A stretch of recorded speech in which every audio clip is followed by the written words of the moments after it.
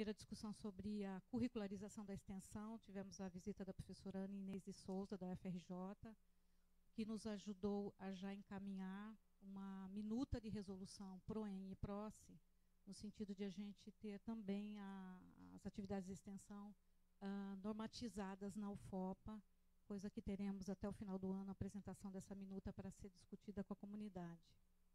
Segundo momento importante da, do Fórum de Graduação foi a apresentação para a comunidade acadêmica do nosso regimento de graduação uh, reavaliado e reatualizado.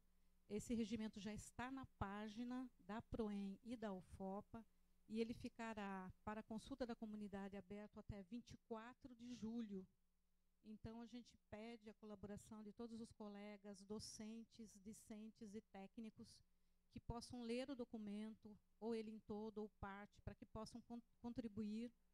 E a ideia é que a gente rediscuta esse documento em plenária nos dias entre 9 e 11 de setembro, quando ocorrerá o terceiro fórum de graduação. Uh, sobre isso, nós temos é, duas comissões que foram criadas para encaminhar as discussões aqui na sede em Santarém, que vai ser uh, uh, levado aí a discussão a professora Alana, a diretora do, do IBF, vai ser responsável por levar, que ela, ela é presidente da nossa comissão temática sobre a, a, o regimento de graduação. E nos campi, nós temos a professora Marilene, que está uh, tá respondendo a professora Raimunda Costa, do campo de Óbidos, e ela já tem todo um cronograma de reuniões que também ela, ela irá orientar, encaminhar nos campi fora de sede. Tá? Só isso. Obrigado, professora Kátia. Parabenizar toda a equipe da PROEM e também ah, os nossos professores, técnicos e estudantes dos campi que tiveram presença maciça, é, muito representativa no segundo fórum de graduação. Parabenizar é, esse importante momento de construção coletiva. Alguma outra comunicação? Não havendo, então nós vamos para a aprovação de faltas justificadas. Temos pedidos de justificativa?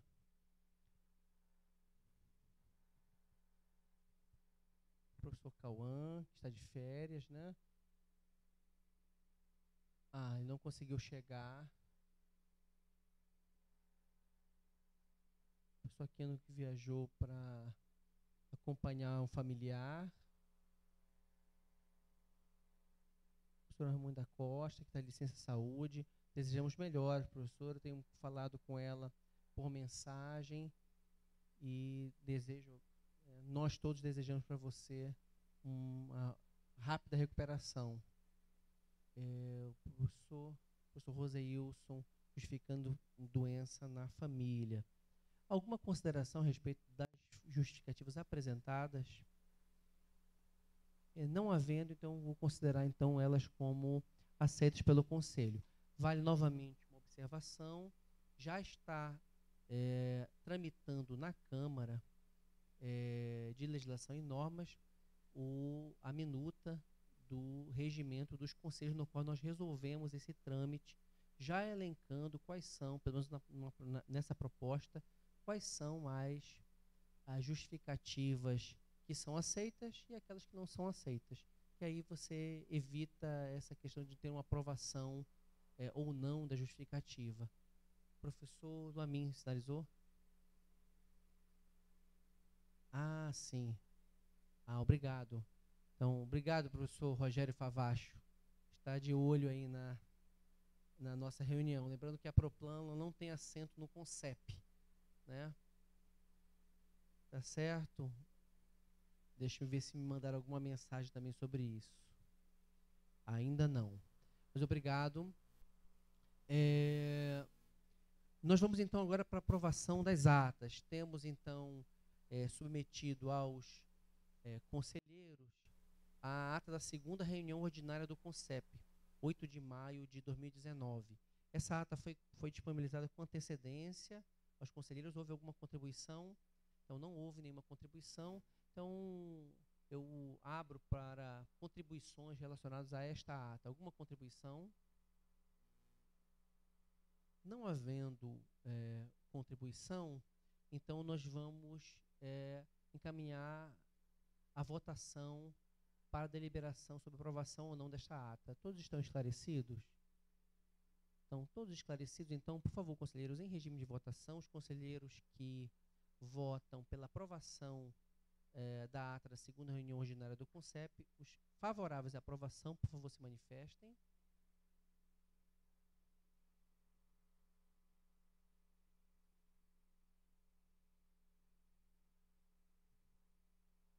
Três votos favoráveis, podem baixar as mãos, por favor. Os desfavoráveis à aprovação, por favor, se manifestem. Nenhuma, nenhum voto desfavorável. Abstenções, por favor uma abstenção. Então está aprovada a ata da segunda reunião ordinária do CONCEP. Nós temos quórum, Eliane? Então está faltando um conselheiro. Então vamos aguardar. Eu, eu não marquei exatamente a hora que nós iniciamos a reunião, é, mas conforme. Certo, aí nós temos. São 15 minutos, né? Então, do início da reunião, é, mesmo sem quórum, passado os 15 minutos da reunião, poderemos dar andamento. Mas já temos temos quórum nesse exato segundo. Agradeço aos conselheiros. Eu acredito que é, tenham é, tenham é, já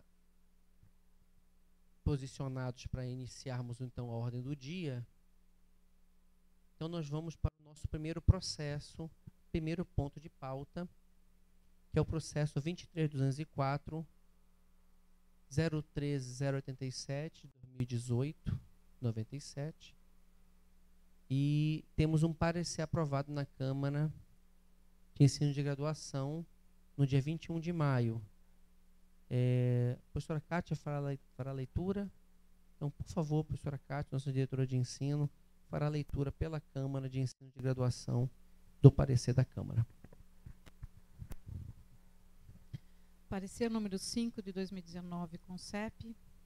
1. Um, relatório.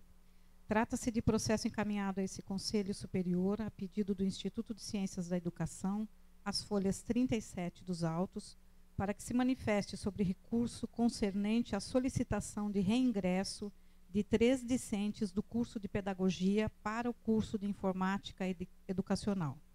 Constam os seguintes documentos no processo. Solicitação de reingresso no curso de Informática Educacional de discentes oriundos da Pedagogia. São eles Alana Nogueira Barbosa, matrícula 2012 000860, Felipe de Souza Malcher, matrículas 2013-01117, e Marilu Roberta Pimentel Santos, matrícula 2013-01199.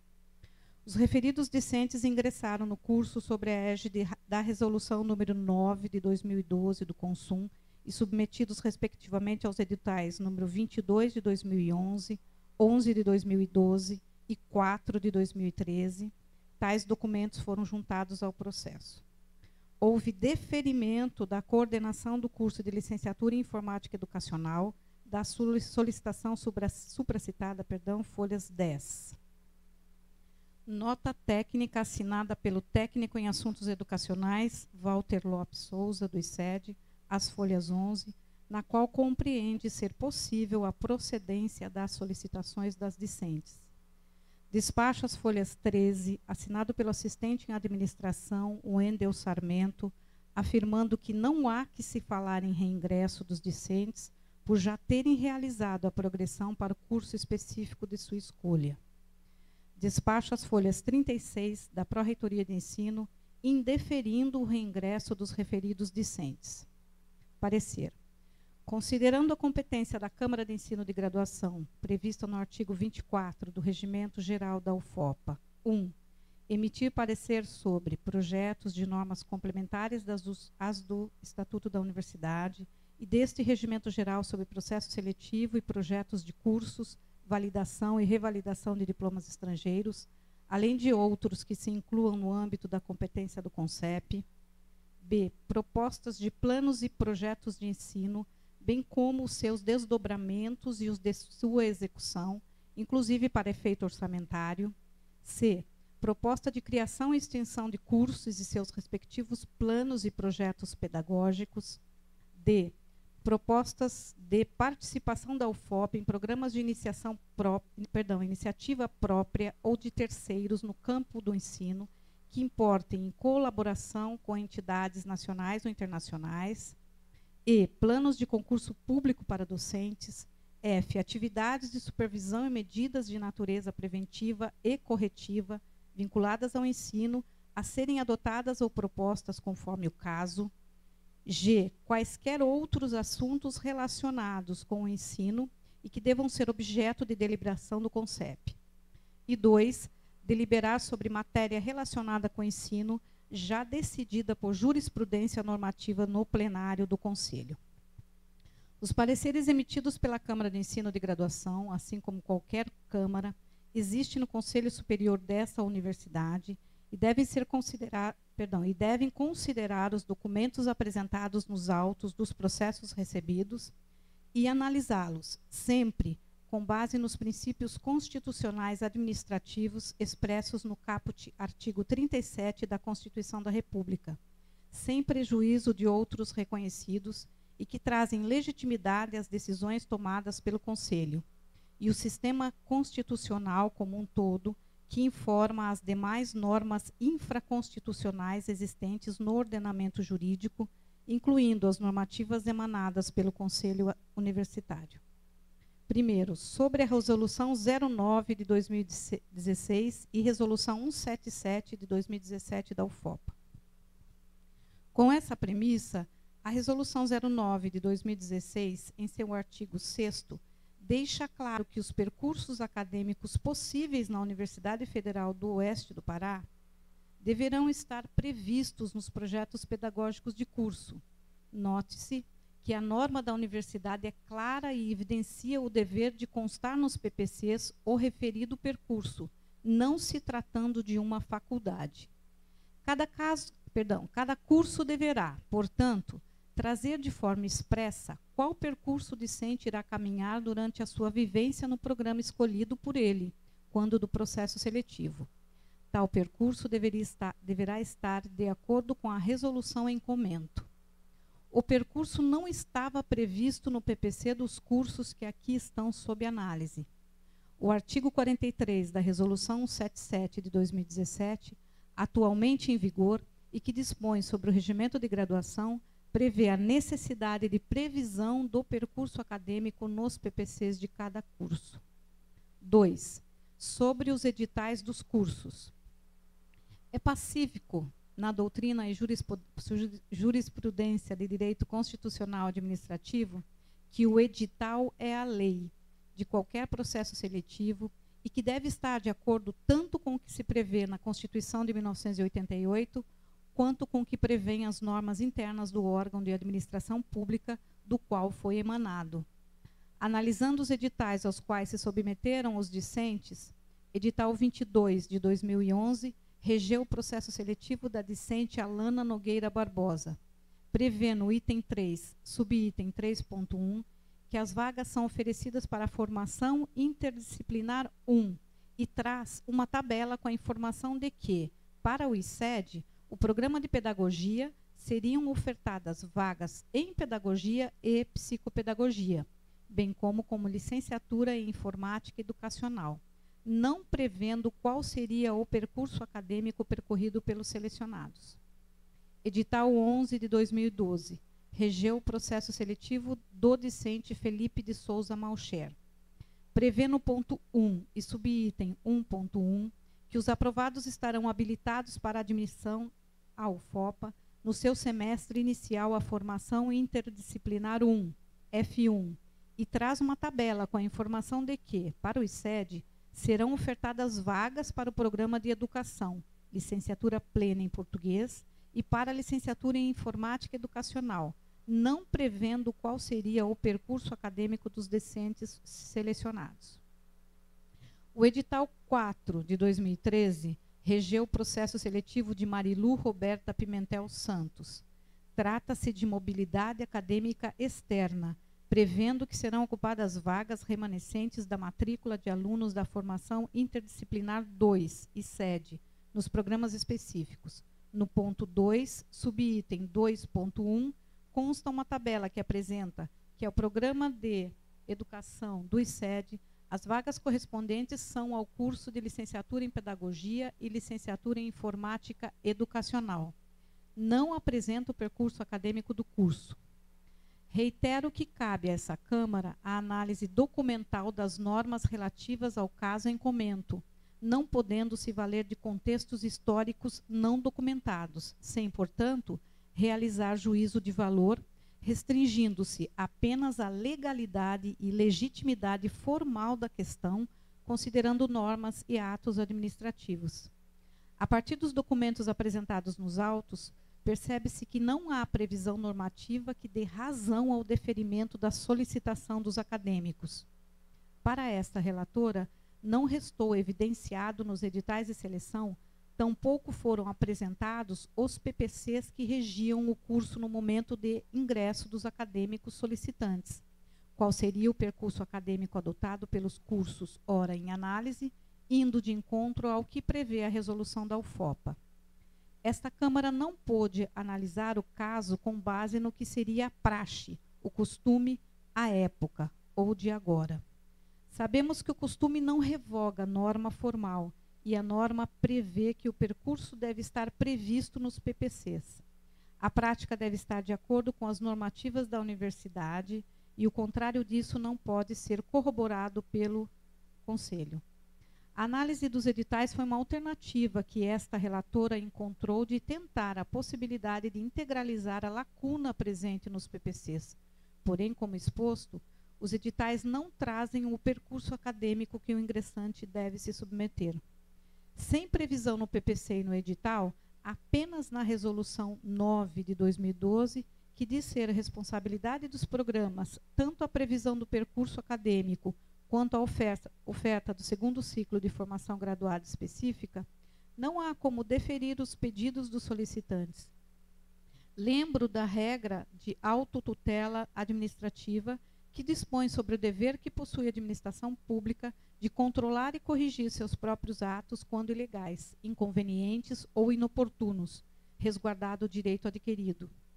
Essa relatora não vislumbra a priori o direito adquirido a ser resguardado, visto que pela própria Lei de Introdução às Normas do Direito Brasileiro, LINDB, artigo 6 parágrafo 2 consideram-se adquiridos assim que os direitos que o seu titular ou alguém por ele possa exercer, como aqueles cujo começo do exercício possa, oh, perdão, tenha termo pré-fixo ou condição pré-estabelecida inalterável, arbítrio de outrem. Assim, o direito adquirido refere-se ao direito já incorporado à vida da pessoa, o que não foi evidenciado pelos documentos presentes nos autos do processo. Terceiro voto da relatora. Pelos fundamentos acima expostos e, principalmente, devido a não competir a essa Câmara análise que não seja puramente formal dos fatos e documentos apresentados nos autos, voto pelo indeferimento dos pedidos dos discentes.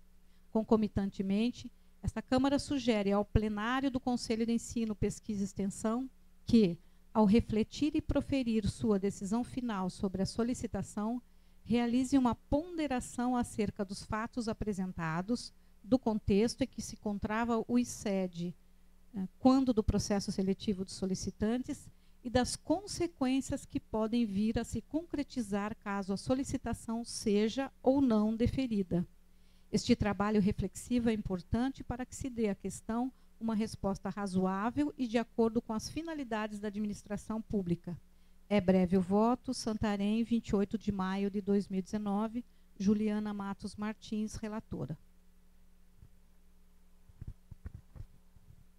Certo. Solicito, então, ao Conselho que seja dispensado o interstício nesse processo para que façamos a discussão nessa mesma reunião. Alguma disposição contrária a essa? Não havendo, então, abrimos, vontade, abrimos espaço, então, para discussão é, do processo. Agradeço imensamente o trabalho da Câmara de Ensino de Graduação, em especial da nossa relatora Juliana Martins. Obrigado. Professor Edilan, diretor do Instituto de Ciência da Educação, por favor. Boa tarde a todas, a todos. É, eu quero parabenizar o, o, parecer dado pela nossa conselheira Juliana, muito técnico, muito, muito bom do ponto de vista técnico mesmo, mas vocês veem no parecer a, a ansiedade dela com outros fatos que não estavam registrados no processo, não pertenciam ao processo. Isso ela colocou depois das discussões que nós fizemos na Câmara de Ensino. E aí eu acho que é importante, pelo menos, a gente relatar a situação, problema que não está presente nos autos do processo, para que a gente compreenda bem a, a questão problema e a partir daí nós teremos uma decisão coletiva, colegiada, como é o intuito desse conselho. É, nós temos aí a solicitação de três alunos nossos, ex-alunos nossos, que entraram por um, por um entraram na instituição por meio de um edital que falava na oferta de dois cursos conjuntos. Ah, os editais falavam vaga para, por exemplo, pedagogia e informática educacional na mesma linha. Embaixo, vagas para licenciatura em, em biologia e, e as outras vagas que existem naquele momento. É, o curso de pedagogia e informática educacional ele nas, o, o, dentro da UFOPA, eles nasceram como um curso conjunto, um curso que tinha um percurso acadêmico conjunto. Os dois primeiros anos dos dois cursos eram idênticos, eram os mesmos conteúdos, os mesmos componentes curriculares. Hoje já não é mais, mas era. É, especificamente no caso dos editais, havia um entendimento e uma divulgação interna, ainda que de forma errada, dentro da instituição, de que, em função do edital, dos editais, no caso, é, abrirem a oportunidade dos alunos para entrar no curso de, por exemplo, pedagogia e informática educacional, havia um entendimento interno e esse entendimento ele era, ele era compartilhado com todos os alunos das turmas que entraram naquele ano, de que os alunos, após concluir o curso de pedagogia, poderiam reingressar no curso de informática educacional da mesma forma que os alunos que entraram por esse edital, que, entrariam, que entraram no curso de informática educacional, poderiam, se quisessem, complementar com o curso de pedagogia, como nós fazíamos nas outras licenciaturas integradas, com exceção da licenciatura integrada em matemática e física, que funcionava, que funciona realmente de forma integrada. Mas as outras licenciaturas integradas, por exemplo, História e Geografia, os alunos entravam no percurso comum, faziam a opção, por exemplo, por história e quando concluíssem poderiam reingressar no curso de geografia. Tá? A ideia e a disseminação dessa ideia lá no ICED, para esses três casos, aconteceu dessa maneira. Tá? O, o, o, diálogo era feito dessa maneira. Olha, quando vocês concluírem, os que tiverem interesse podem reingressar. Né? Nesse período aconteceram vários outros problemas, como, por exemplo, uma fragilização do curso de informática educacional, a não oferta, inclusive, em algum processo seletivo aí pela carência de professores. E os alunos que entraram, por exemplo, em 2013, eh, foram orientados na época pelo coordenador, da, pelo coordenador do programa de educação optarem por um curso e, e, e sugeriram na época que, foi, que optasse pelo curso de pedagogia, dado a instabilidade naquele momento do curso de informática educacional, e depois, quando concluísse, poderiam voltar para a informática educacional, porque o entendimento era esse. Então, isso era o que de fato acontecia lá. Entretanto, nós temos um problema de nossas normativas, que não é um problema, né, que é a solução. As nossas normativas, como a professora Juliana falou, ela exige que o percurso acadêmico esteja nos projetos pedagógicos de curso. Isso não existia. Tá? O fato é que, no nosso entendimento, houve um erro da nossa instituição quando publicou o edital.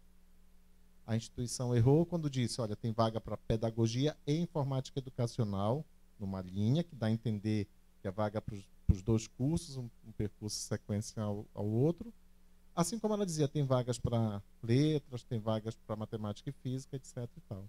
Eu queria pedir aqui para que a Helenise, que participou mais desse processo inicial, não estava nesse processo inicial, ainda estava afastado, ela pudesse trazer um pouco de resgate dessa memória, se puderes, Helenise, para ajudar a gente a compreender e uma decisão baseada no, no, no, em dois aspectos que são importantes. O aspecto legal, muito bem, muito bem apresentado aqui no parecer da Juliana, mas também o aspecto usual discussão interna que existia, o consenso dentro do nosso instituto, ainda que de forma equivocada, tentando consertar um erro que a nossa instituição cometeu quando publicou o edital daquela maneira. Lenise, tu podes ajudar?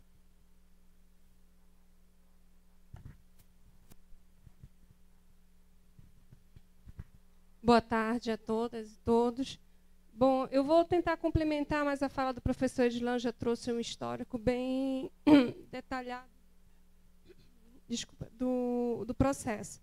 Então, a gente, de fato, a gente tem aí essas questões que envolvem a questão puramente legal do que está instituído nas normativas, mas a gente tem um contexto, de fato, diferente do que as normativas legais nos colocaram. E, de fato, é, eu testemunhei todo esse processo inicial da discussão das licenciaturas integradas. E nas licenciaturas integradas, apesar de a gente não ter ainda naquela época uma normativa que era o regimento de graduação, como a gente tem hoje com muito mais detalhamento, a gente tinha a resolução número 9, que também não detalhava muita coisa sobre a questão de PPC, mas deixava claro, obviamente, que o percurso acadêmico ele é de responsabilidade do curso.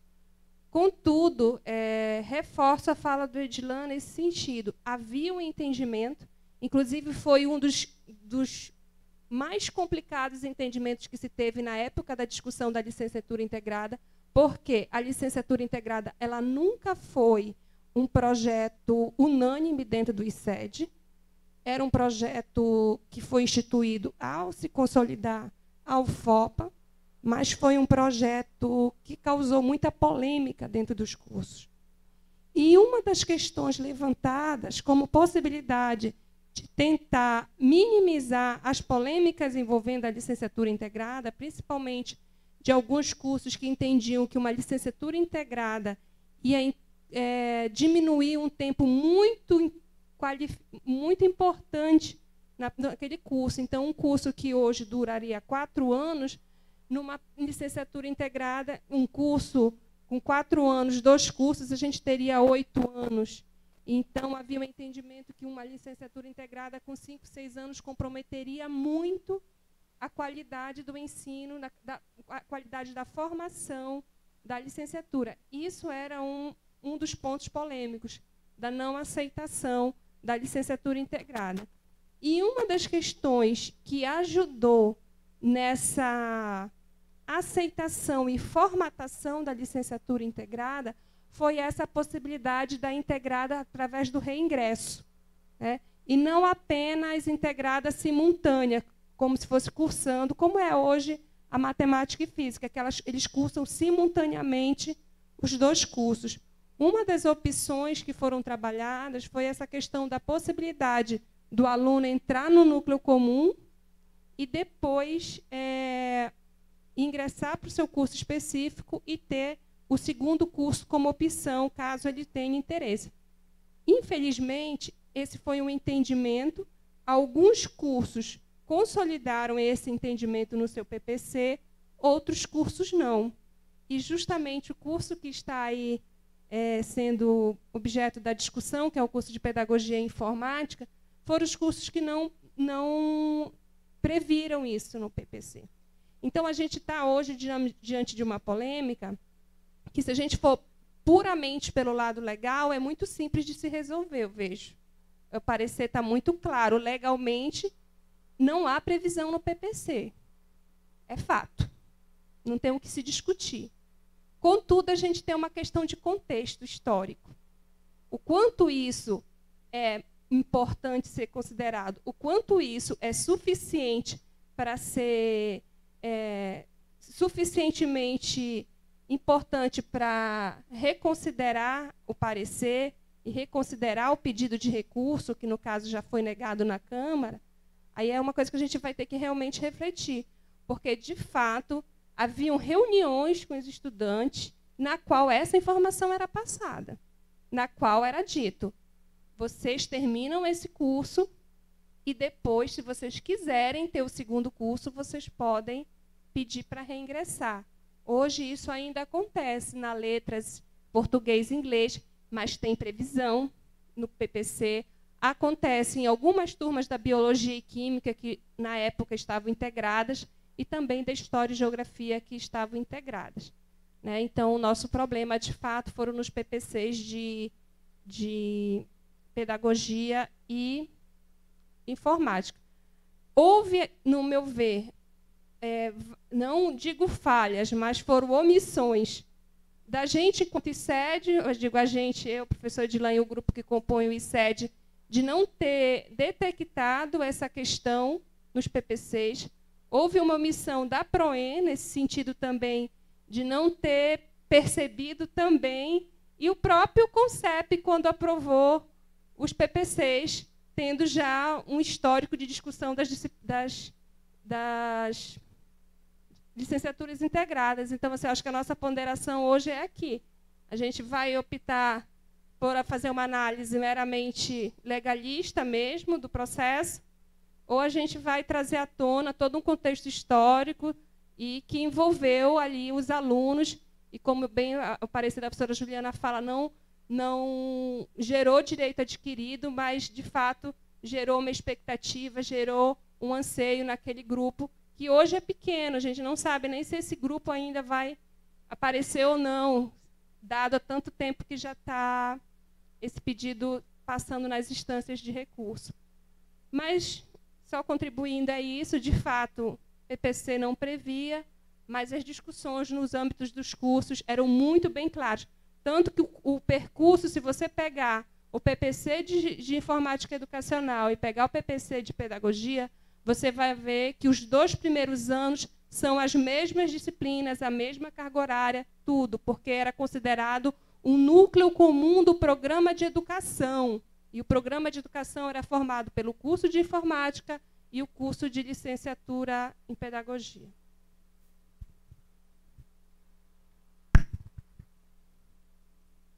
Alguma outra inscrição? Gostaria de de me manifestar também, é, o, houve, houve o deferimento por parte do coordenador do curso, o professor Claudir. E eu também presenciei esse momento da UFOPA e posso dizer que, de fato, foi criada essa expectativa sobre a, esse, essa, essa essa educação em ciclos, essa formação em ciclos, em que seria muito transparente para o aluno é, é, sair de uma formação, ir para outra dentro do mesmo programa, depois já ir para a especialização de maneira praticamente transparente, para o mestrado. Né? Então, assim, essa era, era, vamos dizer assim, o grande mote, né? Assim, a grande é, é vamos dizer assim, comunicação que era feita sobre o modelo acadêmico da UFOPA.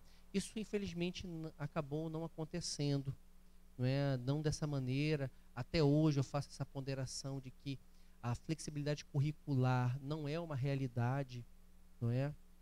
Na, na nossa instituição, isso é, um, é uma demanda dos estudantes. Eles fazem a disciplina no instituto. Segundo eles, ainda é muito difícil você acreditar isso dentro de um outro instituto, é um processo é, ainda burocrático, não é, não é algo automático e, e tão, tão fluido quanto é, é, nós gostaríamos, gostaríamos que fosse. É, isso, isso requer uma maior integração dos cursos. Eu vou falar da minha área, por exemplo, os cálculos né, é, das diversos cursos têm que estar alinhados para possibilitar que o aluno faça ou na matemática e física, ou na engenharia A ou na engenharia B, né, é, facilitando essa, esse trânsito dos alunos entre os institutos. Então, olhando, né, estou fazendo essa reflexão, porque também era, é, é uma. É, era naquele momento um, uma dos nossos. É, vamos dizer assim, das nossas principais características como instituição. Esse pilar da flexibilidade, flexibilidade curricular ainda é um pilar ainda, ainda hoje nos nossos documentos, isso não foi retirado. Eu lembro, inclusive, na, no último momento de paralisação dos professores, foi feito já alguns anos atrás uma rediscussão esse, sobre os pilares do, do, modelo acadêmico da universidade e foi reafirmado que interdisciplinaridade, e flexibilidade curricular permaneceriam. Então, até hoje, é um compromisso da instituição efetivar essa flexibilidade curricular, buscar o máximo possível essa direção. Então, é, é, a minha ponderação é de que é, os projetos pedagógicos deveriam contemplar esse percurso que foi prometido. Houve um descompasso, quer dizer, havia uma política institucional, mas os projetos pedagógicos não acompanharam. Essa é a minha leitura daquele momento. Então, é, apesar do projeto pedagógico não prever o percurso, minha, meu olhar é que deveria prever. Então, a, a minha manifestação é nesse sentido de que é, não que o contexto deva se levar em conta, mas eu vejo que deve se levar em conta que a universidade não cumpriu o que é, projetou e isso acarretou é, é, essa situação que nós estamos vivendo hoje. A minha, a, a, minha maior preocupação era se havia uma manifestação da coordenação do curso, então pela parte da coordenação do curso ele é favorável. Vejo que isso não traz nenhum, pelo menos até onde eu consigo ver, salvo melhor juízo, nenhum prejuízo né, orçamentário ou financeiro para a universidade, nenhum, nenhum ônus a mais. Então, diante disso, penso que ah, o Conselho deve reconhecer que os projetos pedagógicos deveriam contemplar. Eu gostaria de nessa argumentação, né, de que eles não contemplam esse percurso, mas deveriam contemplar e não contemplaram por diversos outros fatores da época, um descontentamento com, com o modelo proposto. É, houve né, todo um movimento né, é, naquele momento. E aí, claro, também pensar um pouco se quais são as repercussões dessa decisão. Se abre precedentes e quais seriam esses precedentes. Seria importante que qualquer decisão que o Conselho tome no sentido de acatar totalmente ou parcialmente é, é o recurso, isso não tem um desdobramento que, que cause um, um, um número muito grande de, de pedidos de reentrada nos cursos. Né? Eu penso que é, é, esses pedidos deveriam continuar sendo analisados individualmente. Alguma outra consideração, professora Lana?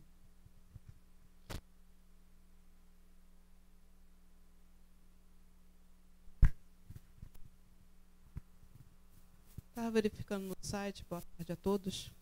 É, não sei se o pessoal do site poderia corrigir, mas o PPC da Licenciatura em Informática Educacional é de 2017. Único PPC existente. Né? Os alunos são 2011, 12 e 13. Né? Ou seja, quase mais de metade do curso, né? quase finalizando o curso, foi surgir um PPC com regras. Né? E com regras que, a um momento, pelo que eu estou entendendo, não são as regras que foi falada em várias reuniões para os alunos, que ele teria essa possibilidade ou não, e que ocorreu um erro de colocar no papel, depois de tanto tempo que o aluno está dentro da universidade.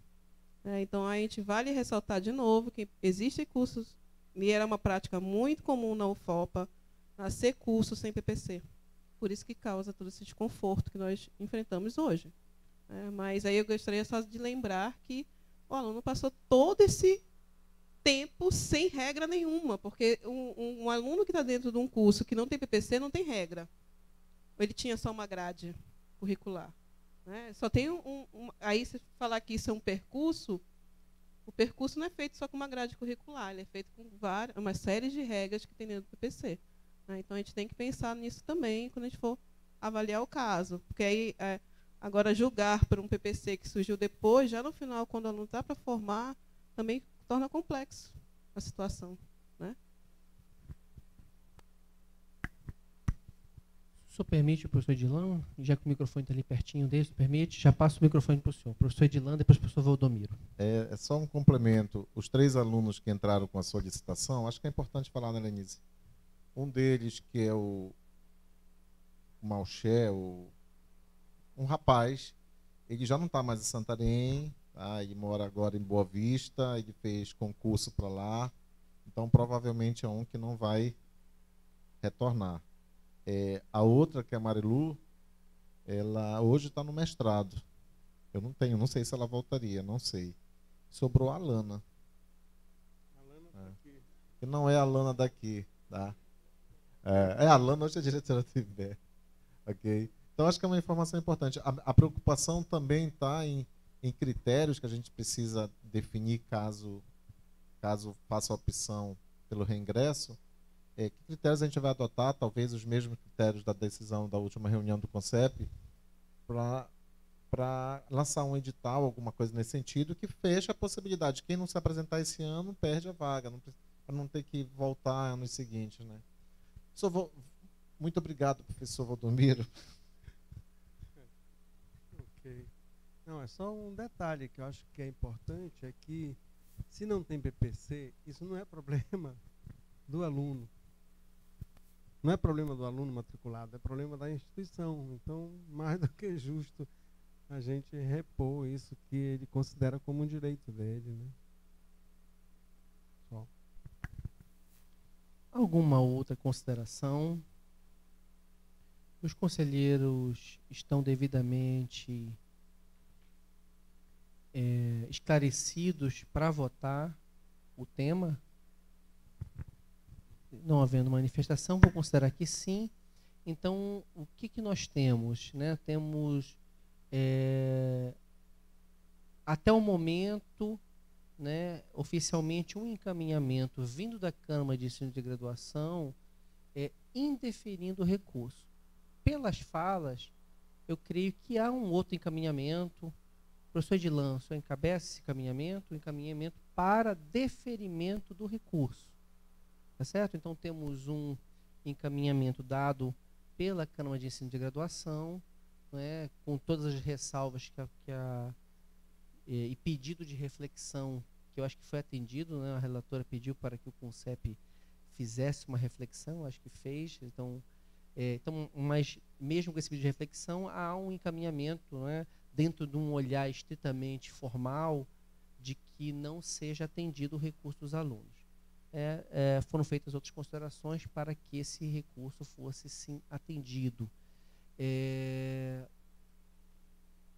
então, temos então essas duas propostas, né, claramente antagônicas.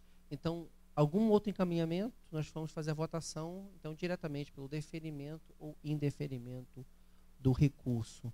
Algum, algum, alguma contribuição no encaminhamento? Não, então nós vamos, vamos entrar em regime de votação. Então, é, nós vamos é, votar. A primeira pergunta que eu vou fazer são os que são favoráveis ao atendimento, ao deferimento do recurso dos alunos. Tá? É, ok, então esse vai ser o primeiro, a minha primeira pergunta. Edson está com aquele olhar para mim de que quer perguntar alguma coisa. Conselheiro Edson. É, o, o, o, a gente já vou fazer, já fizemos essa discussão várias e várias vezes sobre isso, né? Pois não. É porque embora eu tenha chegado atrasado, eu li o parecer da conselheira Juliana. Porque eu acho assim que a gente está dando um tratamento diferenciado para esse caso. Na, na, reunião do CONCEP anterior, que nós decidimos pelo reingresso dos alunos para o bacharelado interdisciplinar, nós, nós é, ponderamos como seria esse reingresso hoje. Por exemplo, se a gente indefere o, pedido, o parecer da conselheira Juliana e defere o recurso dos alunos, mesmo que eles não queiram, a gente está garantindo que esses alunos que terminaram pedagogia vão ingressar em informática educacional. Mas de que forma? Como é que vai se dar essa integralização. Ah, tem um tronco comum, tem, mas o que não é comum, como é que vai ser o tempo, como é que vai ser o percurso? E a gente também não pode olvidar aqui, esquecer, que hoje o curso não está mais no programa de educação. Envolve outras subunidades que também têm a sua autonomia.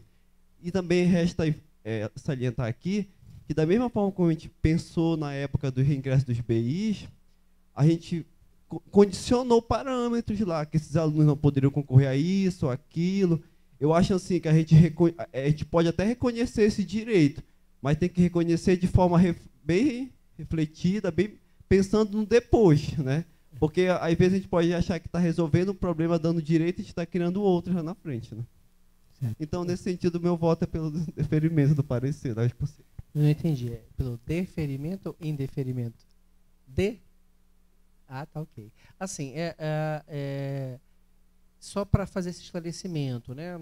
Nós, com relação ao parecer, nós estamos já né, nesse, nesse ano de trabalho, é, e inclusive a proposta que nós colocamos de regimento dos conselhos vai nessa direção. Que o parecer da Câmara, ou das câmaras, dependendo do, do, de qual tema, ele, ele entra como um encaminhamento prévio, já uma discussão prévia, mas não necessariamente ele precisa ser derrubado ou confirmado. Outros encaminhamentos podem ser dados. Então, estamos caminhando nessa direção. É, o conselheiro Edson já fez essa ponderação. Eu ia justamente falar um pouco naquilo que o professor Edilan comentou. Eu creio que é, após a, a, a, votação, eu creio que nós devemos dar um encaminhamento, no caso de deferimento, de como ele deve ser feito. Que eu acredito, né, já adiantando um pouco isso, seria um pouco na direção do que nós fizemos anteriormente. Que seja encaminhado, então, para ser providenciado um edital, e esse edital viria para o CONCEP com as devidas regras, tá certo? É, é um pouco nessa direção a sua proposição, né, professor Edilan? É isso, né? Eu acho que o, professor, o conselheiro Edson também é, propôs na mesma direção. Então, voltando aqui, né, é, é, que a gente já estava já no, quase, já estava no, no, regime de votação, né, mas é, foi impertinente a, a contribuição.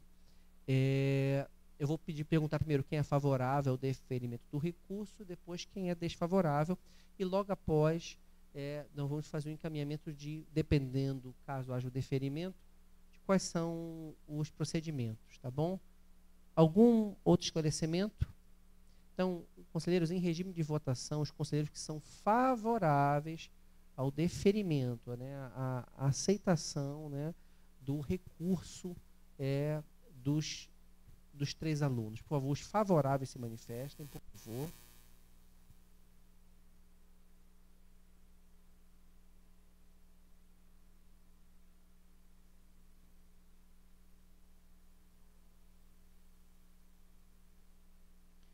20, por favor, baixe as mãos. Os desfavoráveis, por favor, se manifestem.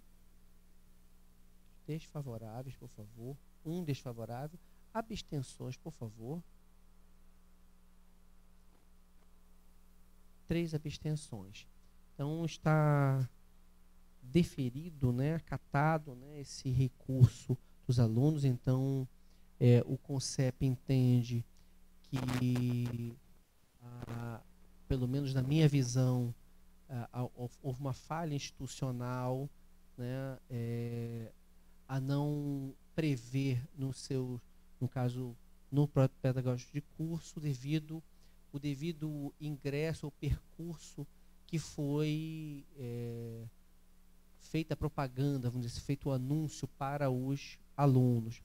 Ah, temos um encaminhamento, então, de que seja, assim como foi feito num outro caso, de certa forma com alguma semelhança, que seja providenciado um edital. É, é esse o encaminhamento do CONCEP? Há algum outro encaminhamento? É, se não houver, então ficaria registrado a decisão de deferimento do recurso e que, uh, a, creio que vai ficar a cargo da PROEM, uh, mais um mais um encargo, né? Sobre quem, de quem é a competência, tá tudo bem. Então a gente já passa a palavra para a gente pensar nisso. Mas aí o conceito então colocaria para alguém que eu vou lhe passar a palavra de quem seria a competência para pensar nesse edital para que é, nós façamos a apreciação aqui no conselho como fizemos no caso, eu creio que do ICTA. Isso, né? Então, professora Kátia, por favor. É, tenho dúvidas sobre quem vai encaminhar esse edital. Eu concordo com o Edson, acho que tem que ser normatizado, mas, ah, por exemplo, os editais de progressão ficam a cargo das unidades acadêmicas e não da PROEM, porque diz a respeito a uma especificidade dos cursos, que muitas vezes a PROEM não está mais apta, digamos assim. Eu acho que deveria ficar a cargo da informática educacional, uma vez que eles têm que verificar nos PPCs, como eram os PPCs anteriores a 2017, o núcleo, o tronco comum, se é possível ofertar essas disciplinas ou não, se vai ter reoferta ou não, e quais as condições que esses três alunos e os demais, porque a gente pode ter outros alunos em outras condições. E eu acho que, nesse sentido, quem, quem teria mais é, é, habilidade, eu acho, para construir um edital, seriam as três coordenações, a, as três, não, as duas, né? A pedagogia e a informática educacional. Na verdade, são dois programas diferenciados. E essa questão que o, que o Edson coloca é muito pertinente. A gente tem a informática educacional que tem quatro professores. Então, essa natureza também do corpo docente tem que ser verificada, viu, professor? Dentro, dentro dessa proposição, que eu creio que eu vi a Lenise fazendo assim, ó, conjunto. Né? Isso, né? É, é, é, então, podemos dar esse encaminhamento, então seria coordenação de informática educacional e sede PROEM. Então, claro, claro, tudo bem. então, tudo bem, é informática educacional e sede PROEM PROGES, é isso? Não, não, PROGES não. É... Pode ser esta a decisão? Tá? Eu, esse, esse trio decide como, como fazer essa chamada para os alunos. Não é? Ah, eu creio que há a possibilidade, inclusive, de uma chamada desses alunos que teriam ou não interesse, enfim. Isso vai ficar a cargo desse trio. Podemos colocar, então, essa decisão de que, uh, a partir agora do deferimento do recurso, precisa ser preparado um edital pela coordenação de informática educacional e sede e Pedagogia também, ok. Pedagogia também, coordenação informática educacional, pedagogia é, é, e sede PROEM, tá bom? Ficamos assim, tá bom, Eliane? Ótimo. Próximo ponto de pauta é o processo 23204, 2179, 2019 de 67. É a solicitação de afastamento das atividades docentes para exercício de cargo de direção. O interessado é o professor Wilson Sabino, é, não conforme conforme prevê a previsão uh, nós inclusive tentamos fazer isso já na reunião de posse dos diretores nós não conseguimos. Os diretores que tivessem quisessem tivessem interesse não é, é do afastamento das atividades docentes poderiam se manifestar mas isso está previsto nos nossos instrumentos não sei se ela está aqui para leitura, né? Eu que posso fazer a leitura. Você pode passar? Tem aqui? Eu mesmo faço a leitura. Isso. Certo? Então, já estamos aqui? Então, há, há um pedido do, do professor Wilson Sabino, na página 2. Então, isso chega até a Câmara de de ensino de graduação. Então, o despacho é. É, vamos já diretamente para o despacho. Há um pedido do.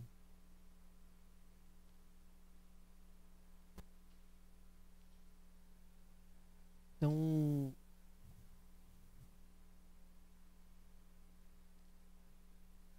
Certo? Despacho trata-se de processo administrativo 23204 2179 2019 67 datado de 28 de fevereiro de 2019, da lava do diretor de Instituto de Saúde Coletiva da Universidade Federal do Oeste do Pará, no qual requer afastamento das atividades docentes para exercício de cargo de direção. A resolução do CONCEP 184, de 10 de fevereiro de 2017, que aprova o plano acadêmico da Universidade Federal do Oeste do Pará, dispõe em seu artigo 30, parágrafo 2 que Artigo 30. Somente os docentes efetivos poderão assumir função de direção de unidade ou subunidade acadêmica.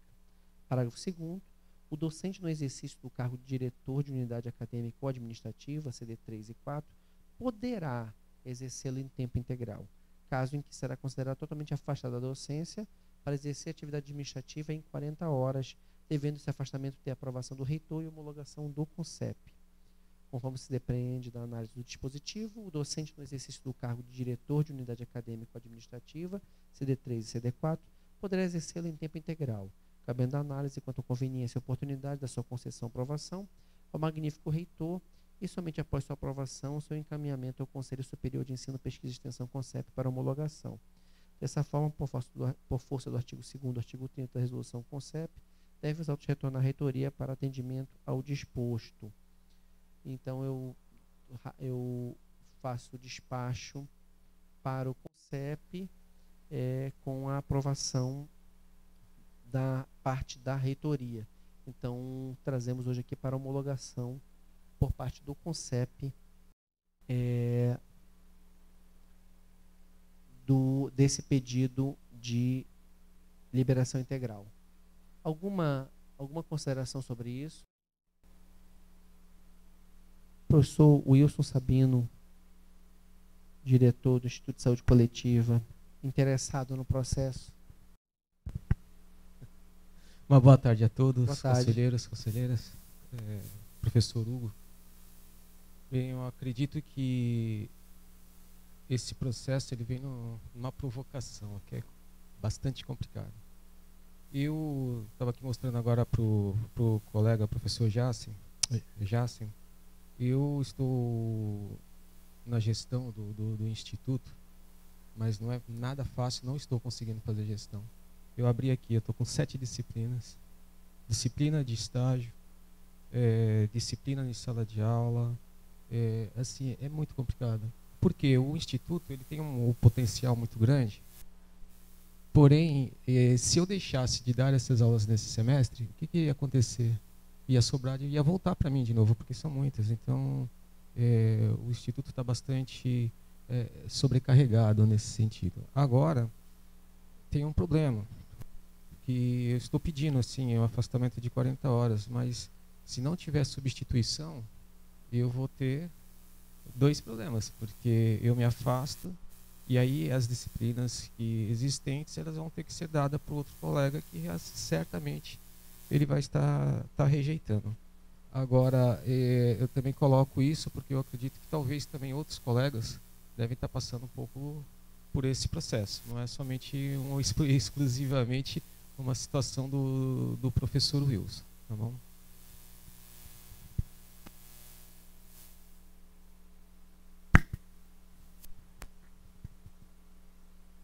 Obrigado, professor Sabino.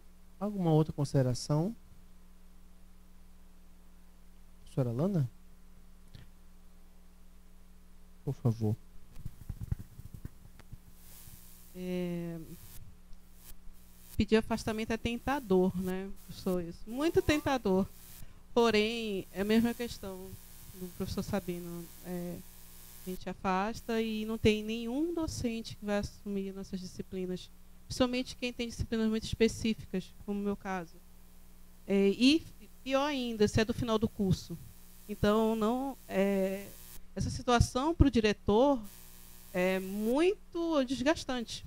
Semana passada, né, fora de graduação, tive que sair no finalzinho, que eu tinha ministrar aula no final do dia.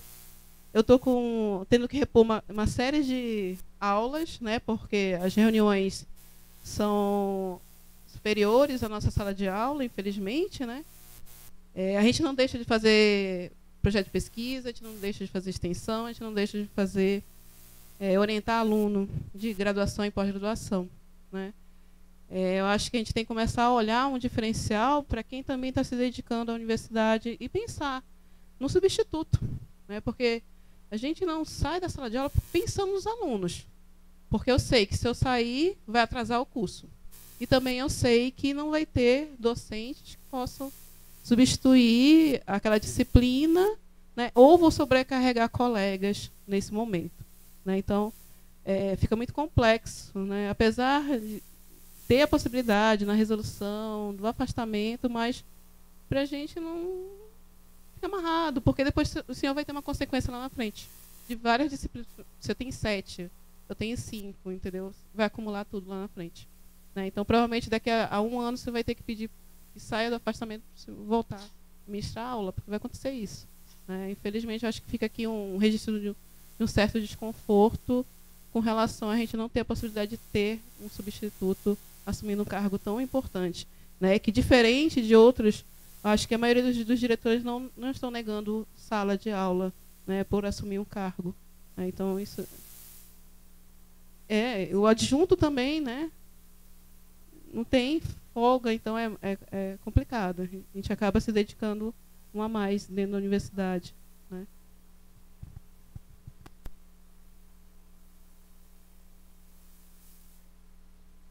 O professor Edilão. Complementando aqui a fala dos dois, é, acho, acho, extremamente oportuno a provocação feita pelo professor Sabino, porque é, acho, a universidade também acho que ela acaba compreendendo que, é, que os diretores de unidades acadêmicas eles ficam extremamente sobrecarregados com uma infinidade de afazeres que dificulta a realização plena né, do, que, do que o professor, do que o, o gestor precisa fazer. De tal forma que há problemas de atender as demandas de sala de aula em sua plenitude e há problemas de atender a gestão em sua plenitude porque realmente fica impossível atender tudo isso. Nós temos uma legislação nacional que fala sobre contratação de professor substituto em universidades como a nossa, instituição de ensino superior, e essa legislação nacional ela não contempla a contratação de professor substituto para diretores de unidades acadêmicas. Nós estamos dentro da instituição discutindo uma normativa sobre contratação de professor substituto. Né? Os diretores, os outros colegas devem estar participando dessas discussões. E lá tem sido colocado, pelo menos por mim, a necessidade de nós fazermos um levantamento de outras instituições é, de ensino superior que contrariam a legislação nacional há duas semanas eu estive no fórum de diretores de, de, de institutos de educação das universidades da região norte e eu fiz esse questionamento. E para minha grata surpresa, é, universidades como a UFPA, a UFAM e a UNIR contrariam a legislação nacional, contratando pessoa substituto para diretores de unidades acadêmicas, o que traria assim um, um respirar para nós é, grande e que talvez não impedisse a gente de realizar algumas outras atividades que não aquele compromisso de sala de aula, que é uma, é uma, uma responsabilidade diferente, por exemplo, de tu orientar um aluno, de tu orientar uma pesquisa, por exemplo. Acho que a nossa instituição, já que está nesse processo de construção, precisa refletir sobre isso.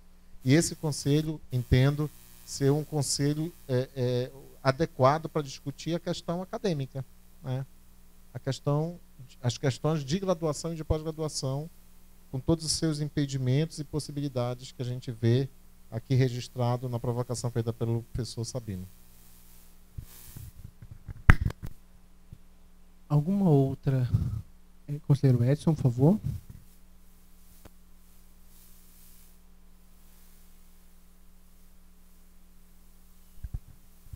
Boa tarde. É uma dúvida aqui no processo, que o próprio dispositivo fala que compete ao CONCEP homologar a decisão do reitor, né? Eu senti falta no processo da decisão do, do reitor da universidade, não porque, é claro, devendo esse afastamento ter aprovação do reitor e homologação do CONCEP. Nesse caso, eu, eu não sei se... Eu estou com o processo em mãos, não há aqui uma decisão do professor Hugo dizendo se, se aprova ou não. Porque nós aqui iríamos homologar, mas o reitor antes tem que se manifestar pelo artigo 30, né? Então, é, não, se não, se não há é porque houve alguma falha aí no processo, porque passou pela minha mão e agora te confesso que eu não lembro se eu assinei ou não. Confesso, mas há essa aprovação. Se não há, a gente providencia é, o ou se não foi colocado no processo tá? Mas, mas há essa aprovação por parte da reitoria, só para informar. E só fazendo uma fala em defesa da categoria, se nós não tivéssemos uma legislação tão antidemocrática que impedisse técnico de ser diretor de unidade, né, nós não teríamos esses problemas. Teríamos técnicos dirigindo as unidades acadêmicas e os professores na sala de aula dando as suas aulas. Obrigado. Helenise? Não? alguma outra contribuição. É, então, assim, foi detectado a, a, a, a, falta, então, desse documento, mas conforme eu já disse, há, há essa deliberação. Então, no caso da homologação, é, nós vamos providenciar a vamos dizer assim, a correção aí do, no, no processo, a colocação do documento, verificar o que aconteceu. Mas há essa aprovação, tá, professor Wilson? Pois não.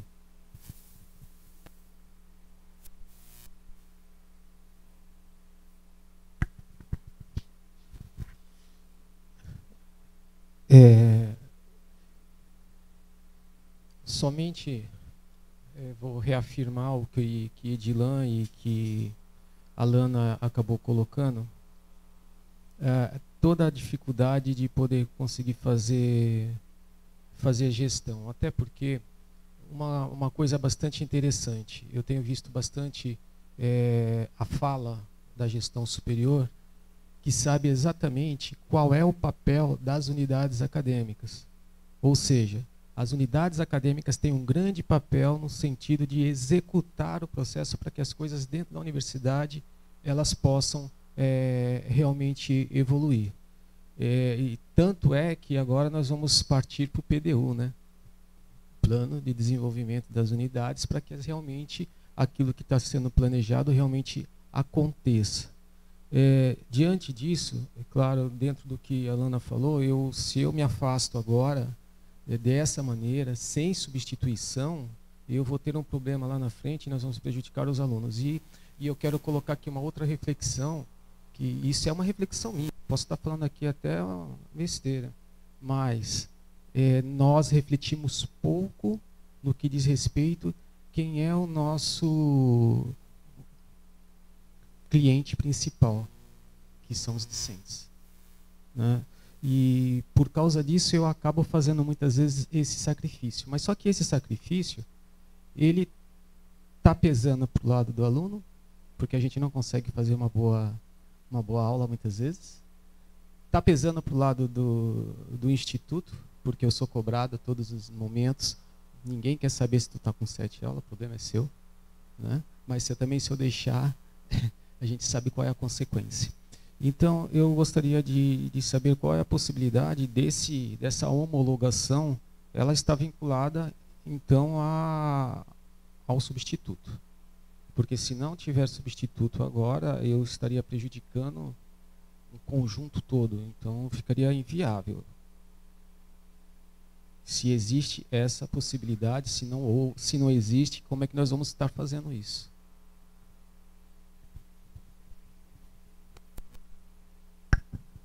Professor Wilson, é, para além, além disso não estar tá no processo, não ter sido considerado no processo, de fato, hoje ainda né, não há essa previsão, né, é, essa provocação já, já, já foi feita a Progep, há, uma, há algumas ações sendo realizadas nessa direção. A informação que a gente tem é que é, o MEC utiliza um, uma, um mecanismo que eles chamam de lastro. Então, para que nós possamos abrir o concurso, precisa haver esse lastro por parte do MEC, que infelizmente não tem sido liberado para os diretores é, dos institutos. E a legislação prevê para os diretores de campus é, há essa previsão. Inclusive, ah, está sendo feito também, aí aproveito e, e, solicito ajuda, se algum conselheiro puder ajudar nessa pesquisa. Uma pesquisa que nós é, solicitamos foi inclusive na direção de verificar se podemos ter mais de um campus na mesma cidade. Isso numa, numa situação de tentar é, contornar isso no sentido de nós termos o campus Rondon e o campus Tapajós. Então, se houver essa possibilidade, seria ainda que nós tenhamos essa restrição, a gente ter, nós tenhamos essa essa possibilidade. Mas são ações que estão sendo tomadas, professor Wilson. Então, para esse momento não, não há como garantir, porque até onde se vislumbra, então, por exemplo, com essa provocação do professor Edilan, encaminhar projeto para verificar se efetivamente é uma é um enfrentamento da legislação ou algum algum artifício, algum caminho legal encontrado. Então, é, mas até que isso seja feito, não há, não há essa garantia. Tá?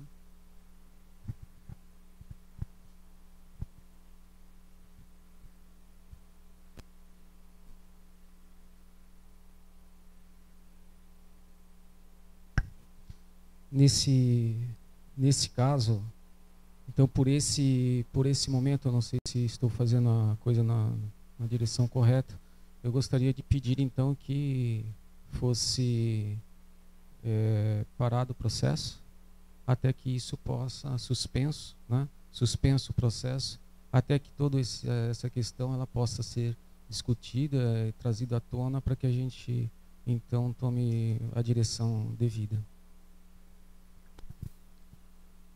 Alguma, alguma objeção? Uh, o professor Wilson, que é o interessado no processo, pediu então a retirada né, é, da deliberação agora por parte do CONCEP até que tenhamos alguma alguma luz no que diz respeito a um professor substituto.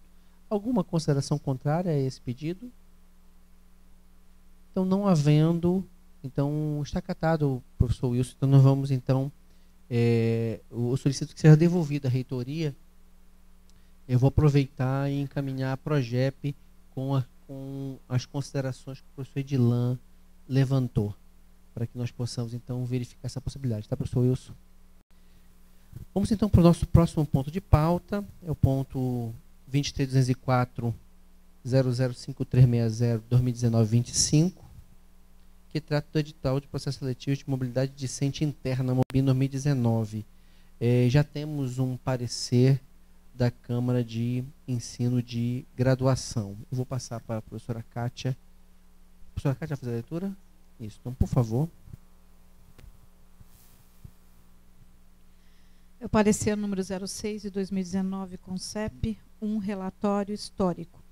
Presente processo administrativo trata de minuta do edital do processo seletivo de mobilidade discente interna, BOMBIM 2019, destinado aos discentes da Universidade Federal do Oeste do Pará que desejam mudar de curso por uma única vez, conforme a distribuição das vagas. Presentes nos autos o memorando eletrônico número 55 de 2019, minuta do edital e seus anexos, Parecer jurídico, número 45, 2019, PF UFOPA, PGF AGU, justificativa técnica e portaria número 487 de 2018 do Gabinete da Reitoria da UFOPA. A Câmara de Ensino de Graduação reuniu-se no dia 5 de junho de 2019 para efetuar análise e emitir o parecer. Análise. Considera-se mobilidade acadêmica discente interna a transição do curso em que o discente está matriculado para qualquer outro curso oferecido pela UFOPA, mediante disponibilidade de vaga e processo seletivo próprio. Está prevista nos artigos 53 e 54 da, da Resolução número 177 de 20 de janeiro de 2017, Regimento de Graduação da Universidade Federal do Oeste do Pará. Poderão participar do MOBIM UFOPA 2019 os discentes matriculados na UFOPA e desde que atendam aos seguintes requisitos: a. O discente não poderá estar no ano de ingresso e deverá ter integralizado no mínimo 20% e no máximo 50% da carga horária do curso de origem. B. O discente não poderá ter reprovado e trancado os componentes curriculares do primeiro ano letivo. C. Não ter ingressado em cursos na UFOPA via mobilidade acadêmica interna. E D. Não ter ingressado na UFOPA via mobilidade externa processo seletivo de mobilidade decente interna MOBIM 2019 será realizado em duas modalidades. Uma no âmbito de cada instituto, unidade acadêmica, em que os discentes poderão escolher os cursos pertencentes à sua unidade acadêmica, e outra no âmbito geral da universidade, em que os discentes poderão escolher os cursos pertencentes às demais unidades acadêmicas. O candidato deverá optar por somente, perdão, por apenas uma modalidade. O quantitativo de vagas ofertadas em cada unidade acadêmica encontra-se no anexo 2 do edital de abertura. Após respeitar os trâmites internos e legais necessários, o edital da Mobim 2019 FOPA foi devidamente analisado pela Procuradoria Jurídica PGF AGU através da emissão do parecer jurídico número 45 de 2019 PF UFOPA PGF AGU que, em sede de conclusão, manifestou-se pelo prosseguimento do processo seletivo em comento, desde que satisfeitas as recomendações contidas neste parecer, considerando as sugestões genéricas e específicas apresentadas. As recomendações ap apontadas no referido parecer foram prontamente atendidas pela coordenação de ensino da PROEM através da juntada aos autos dos seguintes documentos: Justificativa técnica para abertura de edital do processo seletivo de mobilidade decente interna, nas folhas 15. Portaria número 487-2018, do Gabinete da Reitoria UFOPA, datada de 9 de julho de 2018, que constitui a Comissão Permanente dos Processos Seletivos da Universidade Federal do Oeste do Pará, CPPS UFOPA, folhas 16, e minuta do edital número 32/2019, CPPS UFOPA, com as alterações, folhas 17 a 26. Parecer e voto do relator. A minuta do edital do processo seletivo de mobilidade decente interna, MOBIM 2019, atende plenamente aos ditames legais, principalmente aos princípios constitucionais da legalidade e impessoalidade. Ante ao exposto, voto favoravelmente à aprovação do edital do processo seletivo de mobilidade decente interna MOBIM 2019. Solange Helena Ximenes Rocha, relatora. Decisão da Câmara. 3. Decisão da Câmara. A Câmara de Ensino de Graduação acompanha o voto da relatora e aprova o edital do processo seletivo de mobilidade decente interna MOBIM 2019 reunião ordinária da Câmara de Ensino de Graduação em é 5 de junho, não está datado ali, mas foi 5 de junho de 2019. A relatora, a presidente da, do conselho foi a professora Solange Helena Ximenes Rocha. Agradeço, professora Kátia e a Câmara de Ensino de Graduação.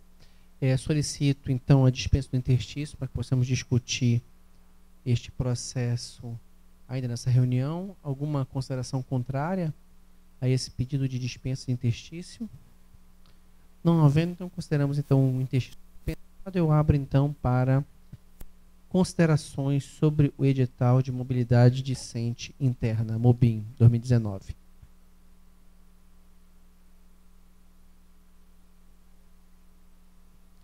Não havendo nenhuma inscrição, os conselhos já se sentem esclarecidos para apreciarmos é, na votação é, sobre o, o edital. Se sim, então nós vamos entrar então, em regime de votação. Há, uma, há um encaminhamento né, por parte da, da Câmara de Ensino de Graduação no sentido de aprovação do edital. Então, só temos essa proposta no momento. Então, nós vamos votar é, no sentido de acompanhar o parecer e aprovar o edital, é, é a primeira pergunta que eu vou fazer, e depois quem é desfavorável. Então, primeiramente, os favoráveis à aprovação do edital. Esclarecidos? Então, em regime de votação, os conselheiros que são favoráveis à aprovação do edital apresentado ao CONCEP, por favor, se manifestem os favoráveis.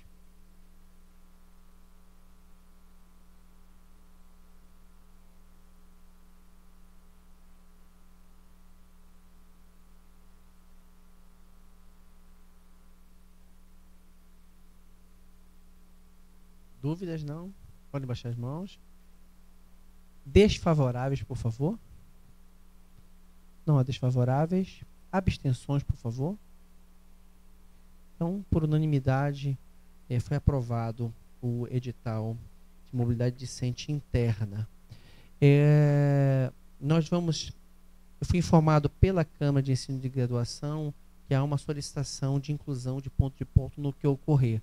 Eu gostaria de pedir é, se há quais são os pontos de pauta e se há algum outro, alguma outra indicação por parte dos conselheiros. Nós temos três pontos de pauta é, com indicação por parte da Câmara de Ensino de Graduação, que são o edital do processo seletivo especial indígena, do processo seletivo especial quilombola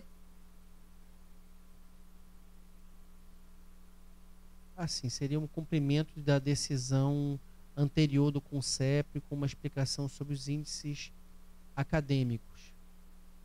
Tá? É, conforme foi, foi deliberado anteriormente. Alguém pediu a palavra, professor Edilan. Eu, eu não sei se se enquadra como ponto de pauta ou como pedido de informações, pessoal. É, nós temos um problema de pagamento é, de professores que desenvolveram atividades no PAFO em janeiro e fevereiro, com todas as dificuldades lá da, da liberação de recursos do PAFO pela CAPES. É, esses professores foram sem diárias e sem passados em janeiro e fevereiro, depois de uma negociação feita com a reitoria, a Denise é, negociou com a gente.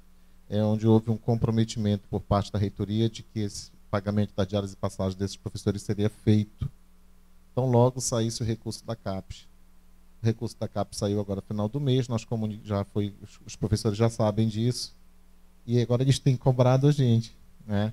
E é, eu não sei se, se isso é um, um, um, pedido de informações, porque a gente precisa dar um retorno para os professores. É, esse, esse, processo já chegou com o senhor provavelmente essa semana, pedindo esse pagamento, e a gente precisa de um posicionamento. Não, já, eu já respondi. O recurso está disponível para a administração do PAFOL fazer os pagamentos. Eu não sei, não, inclusive no, no processo, eu creio que, a, inclusive, eu, nós fomos atrás da, do negociado, era que a, a instituição arcaria no caso de não, não ser liberado o recurso da CAPES para o PAFOL, mas como houve a liberação, tem que ser feito o pagamento normalmente conforme previsto no plano de trabalho. Pois é, mas a CAPES diz o contrário. Né? Na visita que a CAPES fez aqui, as duas técnicas da CAPES, inclusive a visita com o senhor, elas esclareceram que, em hipótese nenhuma, o recurso do plano de trabalho lá da CAPES seria utilizado para pagar pagamentos retroativos.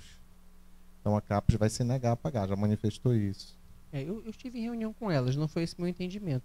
Mas eu creio que nós podemos. Okay. É, assim, de qualquer forma, está mantido, caso não há o que se discutir. Se por um acaso a CAPES se recusar é, a pagar, nós vamos ter que fazer esse pagamento, aí vai ter que ser de onde vai tirar o, o recurso.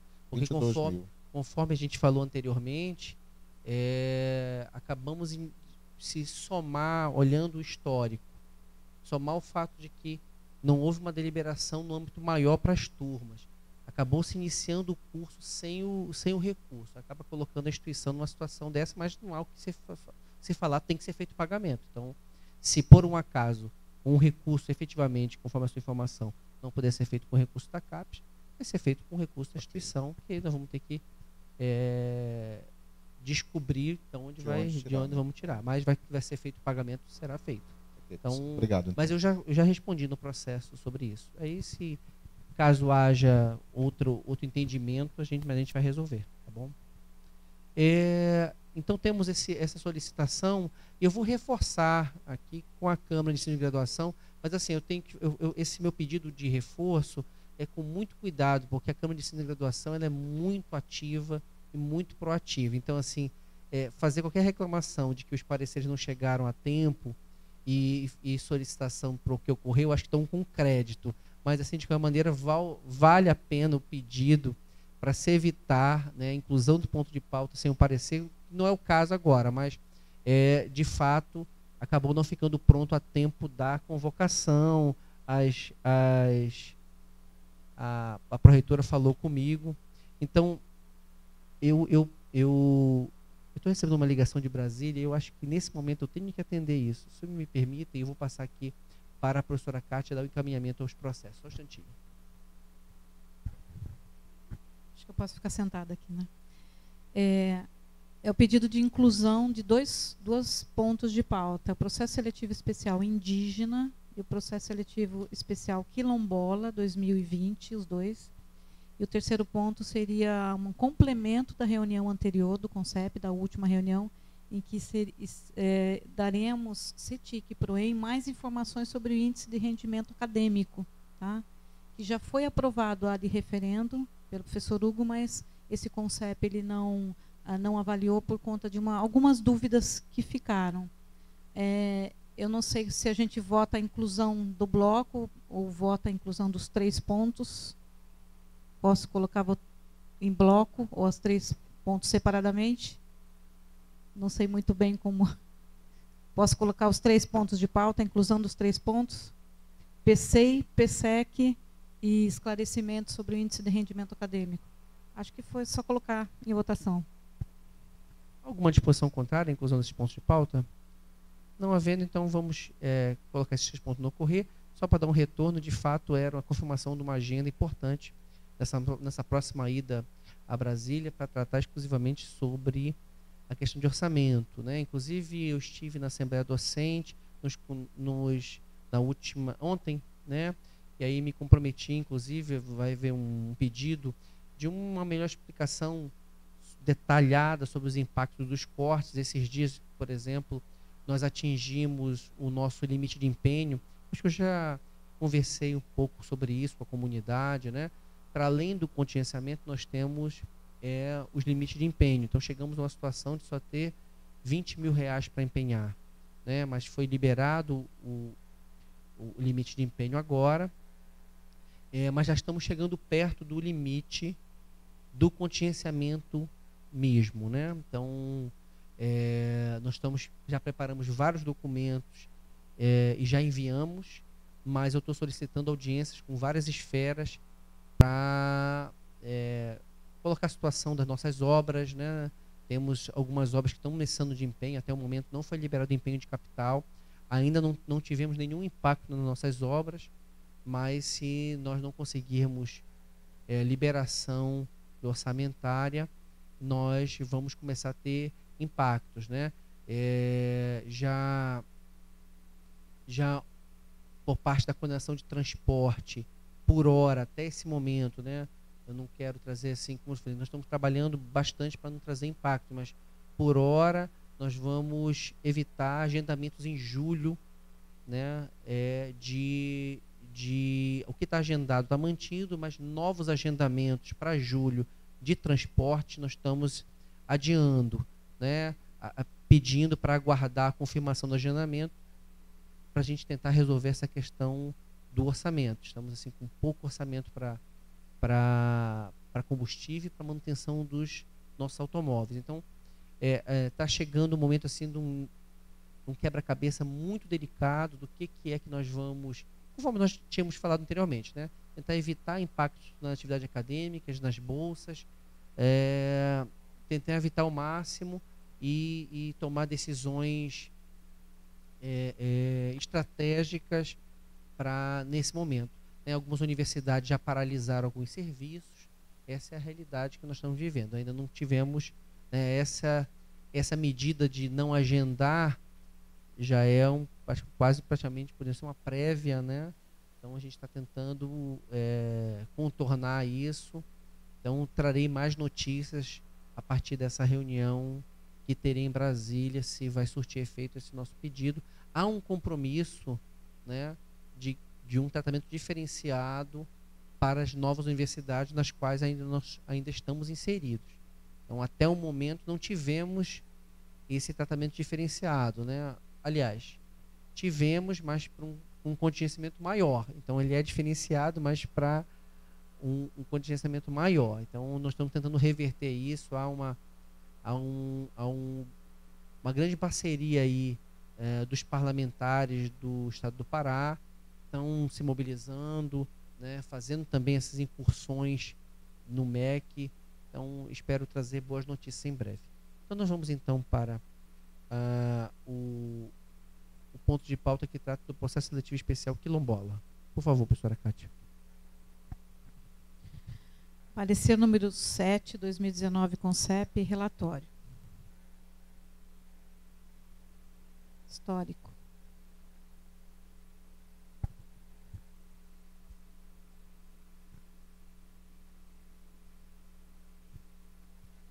O presente processo administrativo trata de minuta do edital do Processo Seletivo Especial Quilombola, PSEC 2020, destinado à seleção diferenciada de candidatos quilombolas, para provimento de vagas nos cursos de graduação. As fases, critérios de classificação, cronograma e demais procedimentos foram taxativamente relacionados no corpo do edital e respectivos anexos. A Câmara de Ensino de Graduação reuniu-se extraordinariamente no dia 7 de junho de 2019 para efetuar análise e emitir o parecer. Análise. Através da realização do processo seletivo especial quilombola PSEC 2020, a universidade, a universidade sedimenta seu importante papel com o desenvolvimento sustentável e transformação da sociedade, na medida em que possibilita o ingresso diferenciado de indígenas e quilombolas nos cursos de graduação da Universidade Federal do Oeste do Pará, UFOPA, previstas no artigo 16, inciso 2, da Resolução 177 de 20 de janeiro de 2017, que institui o regimento de graduação da UFOPA bem como o artigo 3 parágrafo único da Resolução número 200, de 8 de junho de 2017, que institui a política de ações afirmativas e promoção da igualdade étnico-racial racial, sem prejuízo das vagas destinadas às cotas sociais, destinadas nos processos seletivos regulares, de acordo com os percentuais e critérios fixados na Lei nº 12.711, de 29 de agosto de 2012, e em consonância com o Estatuto e Regimento Geral da UFOPA. Após respeitar os trâmites internos e legais necessários, o edital do PSEC, UFOPA 2020, foi devidamente analisado pela Procuradoria Jurídica, PGF, AGU, através da emissão de parecer jurídico número 47, 2019, PF, UFOPA, PGF e AGU, que em sede de conclusão manifestou-se pela necessidade de adequação do texto do edital em comento, considerando-se as sugestões genéricas e específicas apresentadas para evitar futuros, perdão, transtornos futuros no processo. As recomendações apontadas no referido parecer foram prontamente atendidas pela área técnica da coordenação de ensino da PROEM, através da juntada aos autos dos documentos requeridos e apresentadas as devidas justificativas técnicas para abertura de edital do processo seletivo. Parecer e voto do relator. A minuta do edital do processo seletivo especial quilombola PSEC 2020 atende plenamente aos ditames legais principalmente aos princípios constitucionais da legalidade e impessoalidade. Ante o exposto, voto favoravelmente à aprovação do edital do Processo Seletivo Especial Quilombola, PSEC 2020, Solange Helena Ximenes Rocha, relatora. Decisão da Câmara. A Câmara de Ensino de Graduação acompanha o voto da relatora e aprova o edital do Processo Seletivo Especial Quilombola, PSEC 2020. Reunião extraordinária da Câmara de Ensino de Graduação em 7 de junho de 2019, assina a professora doutora Solange Helena Ximenes Rocha, presidente da Câmara de Ensino de Graduação. Aí, eh, se pudesse mostrar o, é, o quadro, de, quadro de vagas. Total de vagas em Santarém para o PSEC, 61. E total de vagas é, PSEC Camp, 20. Um total de 71 vagas. 81, perdão. 61 mais, mais 20, 81.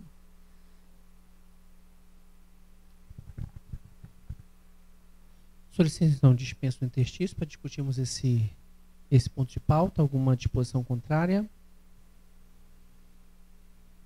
Não havendo, então, está dispensado o e abre espaço, então, para discussão sobre é, o edital processo seletivo especial quilombola.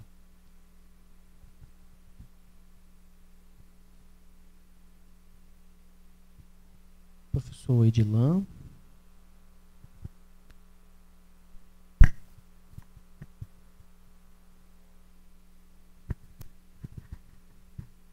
Preciso confessar minha falta, minha ausência na reunião desse dia por outro compromisso que já estava em andamento no dia da última reunião da Câmara.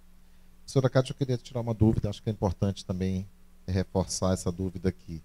É, nós temos aí 20 vagas, por exemplo, destinadas para os campi e, e a todas as outras vagas para as outras unidades. É, existe alguma, alguma informação no edital de que, em não havendo o preenchimento dessas vagas, essas vagas podem ser incorporadas pelo processo seletivo regular? Professor Edilan, essa sugestão ela surgiu nos seminários, né? surgiu tanto aqui em Santarém como em Jacareacanga, Itaituba e é, Oriximiná. Então foi uma dúvida e uma, uma colocação que foi colocada e nós, no primeiro momento, na coordenação de ensino e junto à CAPSE, que é a Comissão de Avaliação do Processo Seletivo Especial, nós trabalhamos com esse cenário, né, de ofertarmos as vagas e depois utilizarmos no PSR. O que ocorre? Ocorre que nós é, entramos em contato com o doutor Eliassi, que é da Procuradoria Jurídica, e ele deixa bem claro que nós não podemos utilizar vagas de um processo em andamento para vagas de outro processo. Tá?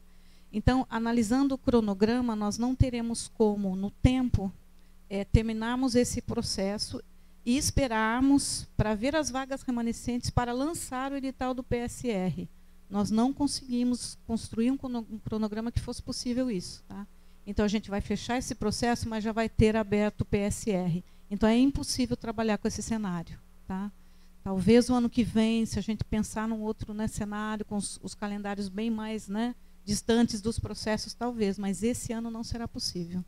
Por isso que a gente fechou aqui com 20 é, fora de sede, 61 na sede para a PSEC. Tá? Nessa reunião a que o senhor se refere, que foi acho que 9 ou 12 de maio, que foi reunião do CPPS, em que nós estávamos presentes com vários é, é, diretores de campo, e o professor Léo, não sei se estava presente, professor representando Oriximiná, Itaituba, e a professora Marcela de Monte Alegre, nós fizemos um pequeno é, modificação no que diz respeito à distribuição das vagas. O quantitativo ele permaneceu os mesmos do ano passado, mas a distribuição é que mudou um pouco, né? A gente teve, por exemplo, ali em Oriximiná, nós tivemos, é, dobramos o número de vagas. Estavam previstos quatro no passado, agora temos oito. E nós reduzimos em alguns cursos. Então a gente fez esse balanceamento, não diminuímos o quantitativo, mas a gente fez aí um estudo no sentido de uh, ofertar mais vagas em cursos que necessário que uh, os alunos procuram mais, né? Eles têm uma mais afinidade em determinados cursos que em outros. E esse exercício que a gente procurou fazer e traz aqui para análise.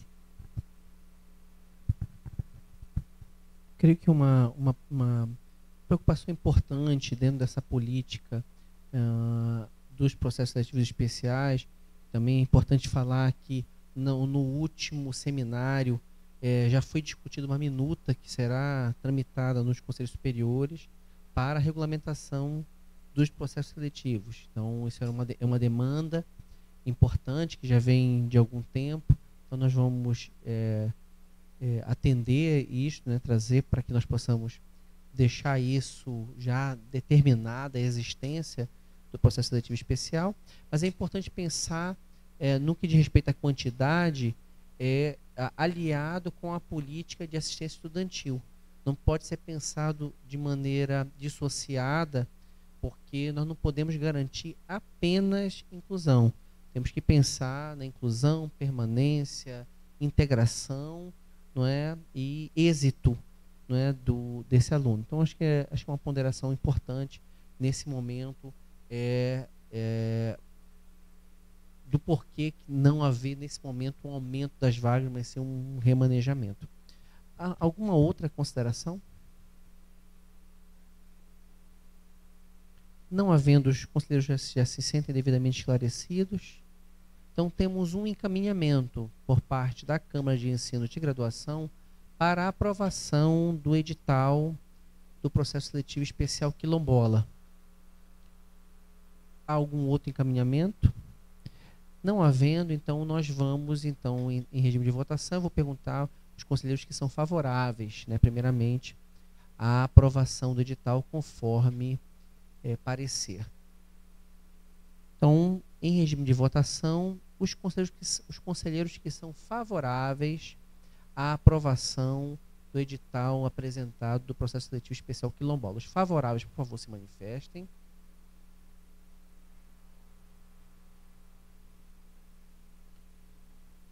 Pode baixar as mãos, já, já, já houve indicação que houve unanimidade. Vou perguntar de qualquer maneira. Desfavoráveis, por favor? Não há abstenções? Não há, então, por unanimidade está aprovado o processo, ou edital do processo seletivo especial quilombola.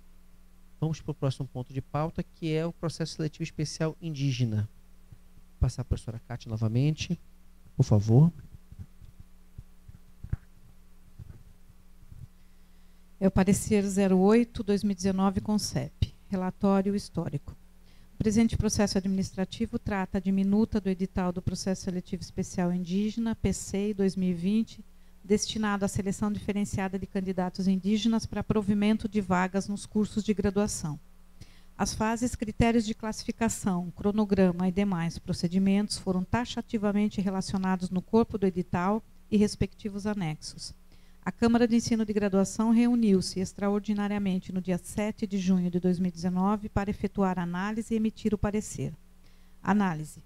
Através da realização do processo seletivo especial indígena, PCI 2020, a universidade sedimenta seu importante papel com o desenvolvimento sustentável e transformação da sociedade, na medida em que possibilita o ingresso diferenciado de indígenas e quilombolas nos cursos de graduação da Universidade Federal do Oeste do Pará, UFOPA previstas no artigo 16, inciso 2 da Resolução número 177 de 20 de janeiro de 2017, que institui o regimento de graduação da UFOPA, bem como o artigo 3 parágrafo único da Resolução número 200 de 8 de junho de 2017, que institui a política de ações afirmativas e promoção da igualdade étnico-racial, sem prejuízo das vagas destinadas às cotas sociais destinadas nos processos seletivos regulares, de acordo com os percentuais e critérios fixados na Lei nº 12.711, de 29 de agosto de 2012, e em consonância com o Estatuto e Regimento Geral da UFOPA.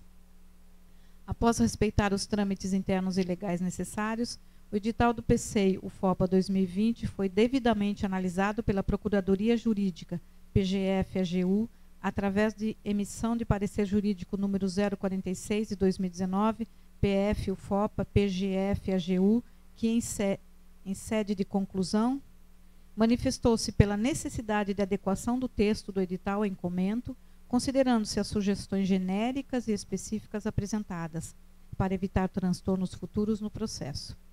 As recomendações apontadas no referido parecer foram prontamente atendidas pela área técnica da coordenação de ensino da PROEM, através da juntada aos autos dos documentos requeridos e apresentadas as devidas justificativas técnicas para a abertura do edital do processo seletivo. Parecer e voto do relator a minuta do edital do Processo Seletivo Especial Indígena, PCI 2020, atende plenamente os ditames legais, principalmente aos princípios constitucionais da legalidade e impessoalidade. Ante o exposto, voto favoravelmente à aprovação do edital do Processo Seletivo Especial Indígena, PCI 2020. Assina a professora doutora Solange Ximenes Rocha, relatora. Terceiro, decisão da Câmara a Câmara de Ensino de Graduação acompanha o voto da relatora e aprova o edital do Processo Seletivo Especial Indígena PCI 2020. Reunião extraordinária da Câmara de Ensino de Graduação em 7 de junho de 2019. Assina a professora doutora Solange Helena Ximenes da Rocha, presidente da Câmara de Ensino de Graduação.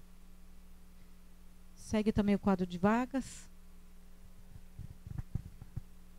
Obrigado, professora Cátia. Uma vez agradecer todo o trabalho da Câmara de Ensino de Graduação e também da PROEM e da Comissão de Avaliação dos Processos Seletivos Especiais. É, solicito então a dispensa do interstício para esse processo. Alguma disposição contrária? Não havendo, então considero que está dispensado o interstício. Então abro para discussão é, deste processo. Por favor. Não havendo é, inscrição, os conselheiros já se encontram devidamente esclarecidos? É, se sim, temos apenas um único é, encaminhamento, que é por parte da Câmara de Ensino de Graduação, é, no sentido da aprovação do edital é, que foi construído né, no, nos seminários e com a comissão e com a participação né, dos, dos, dos nossos gestores das unidades então, tendo somente esse encaminhamento, então nós vamos entrar em regime de votação e eu vou perguntar primeiramente quem são os conselheiros favoráveis à aprovação do edital do processo seletivo especial indígena. Professor, opa, já? Então, os favoráveis, por favor, levantem as mãos. Eu pensei que o professor Valdomiro queria pedir a palavra. Não, está ótimo. Os favoráveis, por favor, levantem as mãos. A favoráveis à aprovação do edital do processo seletivo especial indígena, por favor. Pode baixar as mãos, por favor. Por favor, pode baixar as mãos. Desfavoráveis, por favor. Abstenções. Então, não há desfavoráveis nem abstenções. Então, por unanimidade, está aprovado o edital do processo seletivo especial indígena. Parabéns a toda a equipe, é, parabenizar também as comunidades, aos nossos professores envolvidos nesse processo. O trabalho do seminário é um trabalho importantíssimo. É, agradecer em especial toda a equipe da Progis, também envolvida na construção desse instrumento de, e das nossas unidades acadêmicas. Parabéns a todos nós, é uma importante conquista. Temos então o nosso último ponto de pauta, que é o cumprimento de uma decisão da, do, do, nosso do próprio Conselho Superior de Ensino, Pesquisa e Extensão, é, no sentido de nós trazermos uma, uma explanação né, sobre a mudança nos, no índice de rendimento acadêmico.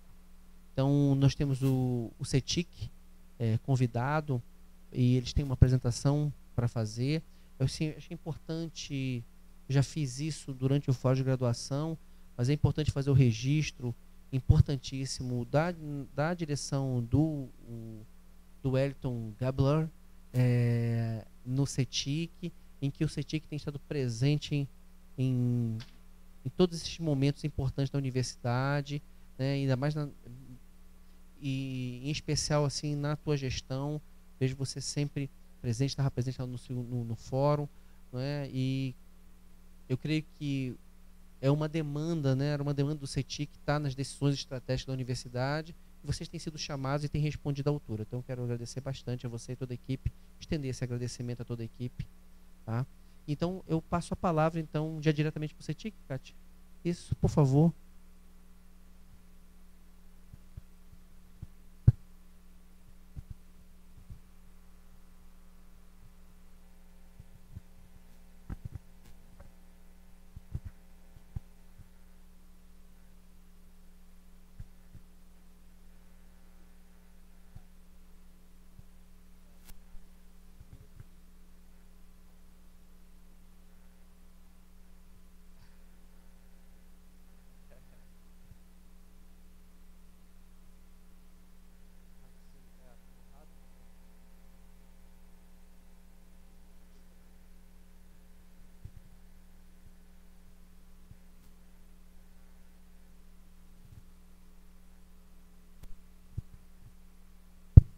É, boa tarde, tá? É, me chamo André, eu sou do, do CETIC, tá?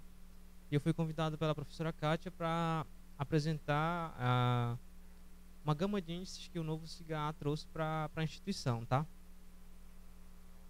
É, então aqui eu vou é, colocar uns informes que é interessante, tá? É, os índices que, gente, que, eu vou mostrar a seguir, eles não são, não é o índice que o CETIC está propondo para a instituição, tá? São índices que já vieram é, embutidos no sistema.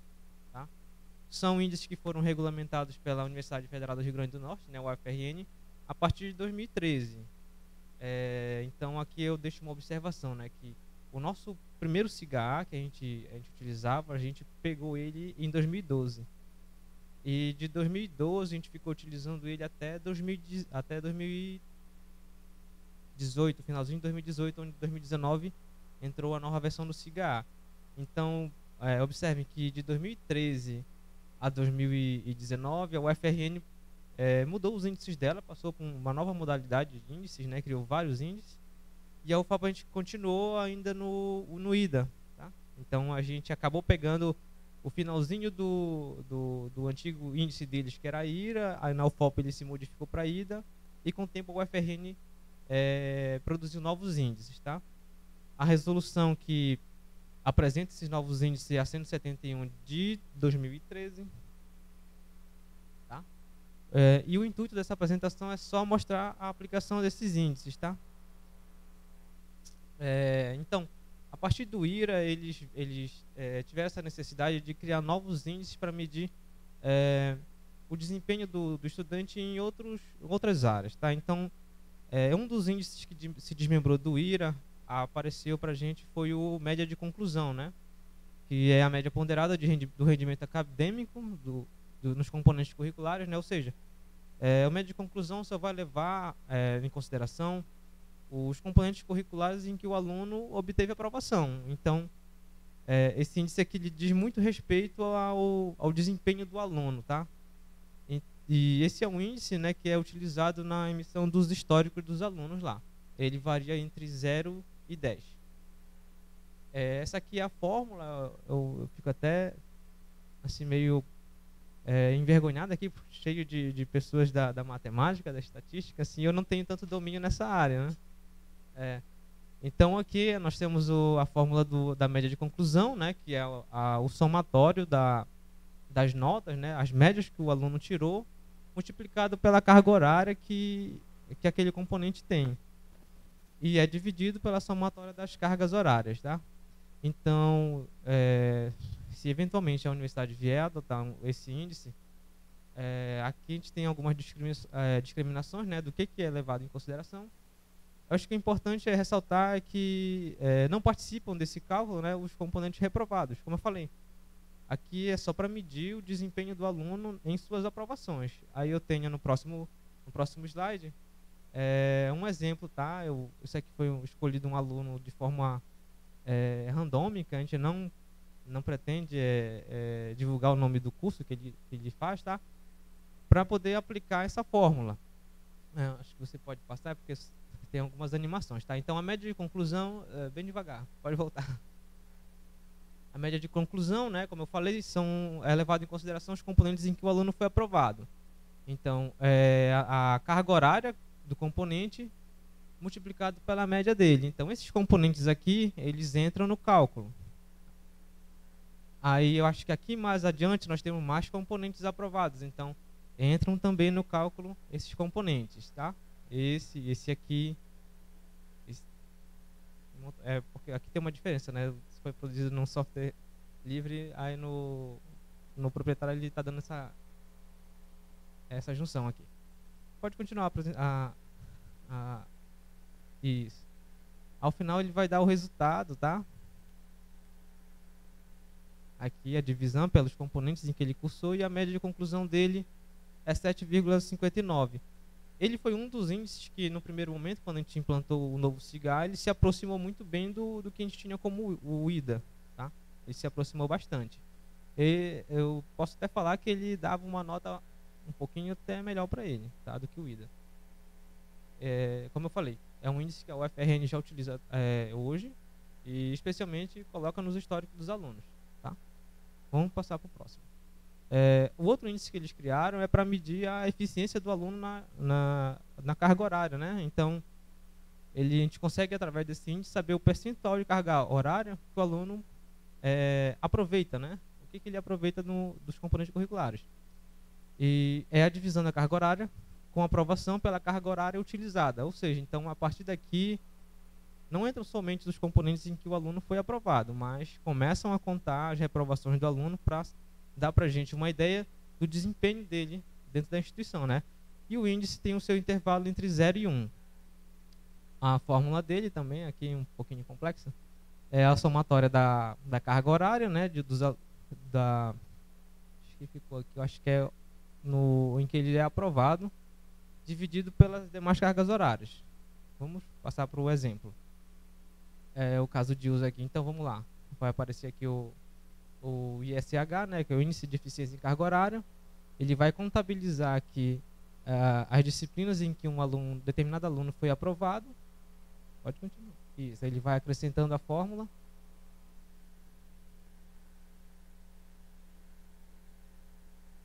Aí vem aqui e já começa começa a contar as reprovações, né? Pode continuar até a, a, aparecer a fórmula por completo. Certo, então aqui ele já deu uma emendada, mas ele começou a contar todas as cargas horárias, independente da, da situação dele, então, sendo aprovado ou não. E ele retornou para a gente que o desempenho do aluno é, é em relação à carga horária é 0,7, ou seja, esse aluno aqui ele, fez, ele se matriculou em 10 componentes, ele foi aprovado em 7 e em 3 componentes ele teve a reprovação, ou seja, o, o o desempenho dele em carga horária é de 70%, tá? Então esse é mais um índice que se desmembrou do, do IRA, da universidade, né, da UFRN, e foi criado. Ainda temos mais, tá? A gente pode passar para o próximo, que é o índice de eficiência em períodos letivos agora do aluno. Né? É, é um índice que varia também entre 0 e 1, um, no entanto, é, alguns casos já foram constatados que ele, dentro da universidade, ele acabou variando acima de 1, um, tá? É, o índice pode variar acima de 1, como eu falei, em alguns momentos durante o, o percurso acadêmico. Vamos para o próximo slide. É, ele cortou bastante aqui o, a descrição, mas vamos lá, de cabeça.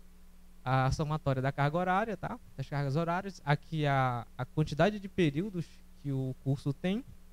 A carga horária mínima, na verdade aqui é o, é o período atual que o aluno está. A carga horária mínima que o curso exige para o aluno se formar e aqui, se eu não me engano, uh, é a quantidade de períodos, ou não sei se é o período atual.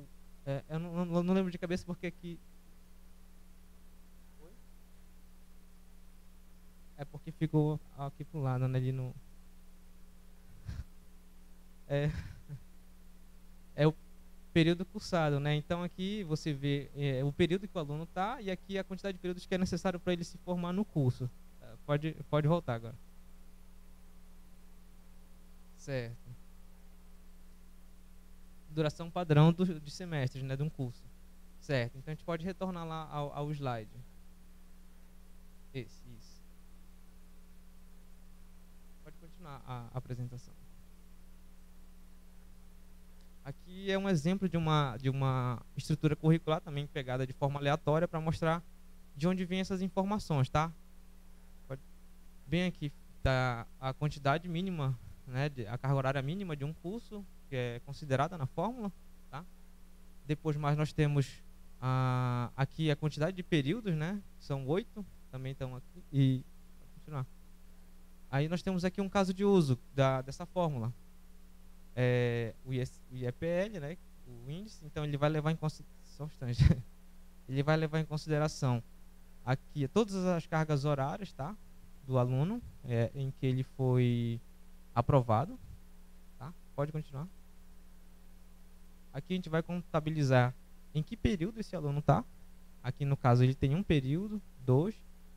Vejam que é, nesse exemplo aqui que eu peguei, por exemplo, a gente conta período em que o aluno tem uma, uma integralização. Então, no caso, se ele está hoje em 2019.1 e já tem uma nota é, lançada, que a gente fala integralizada, esse período já entra na conta dele. Tá? Então, nesse caso aqui, como ele ainda estava é, com esses componentes matriculados, não entravam para o cálculo.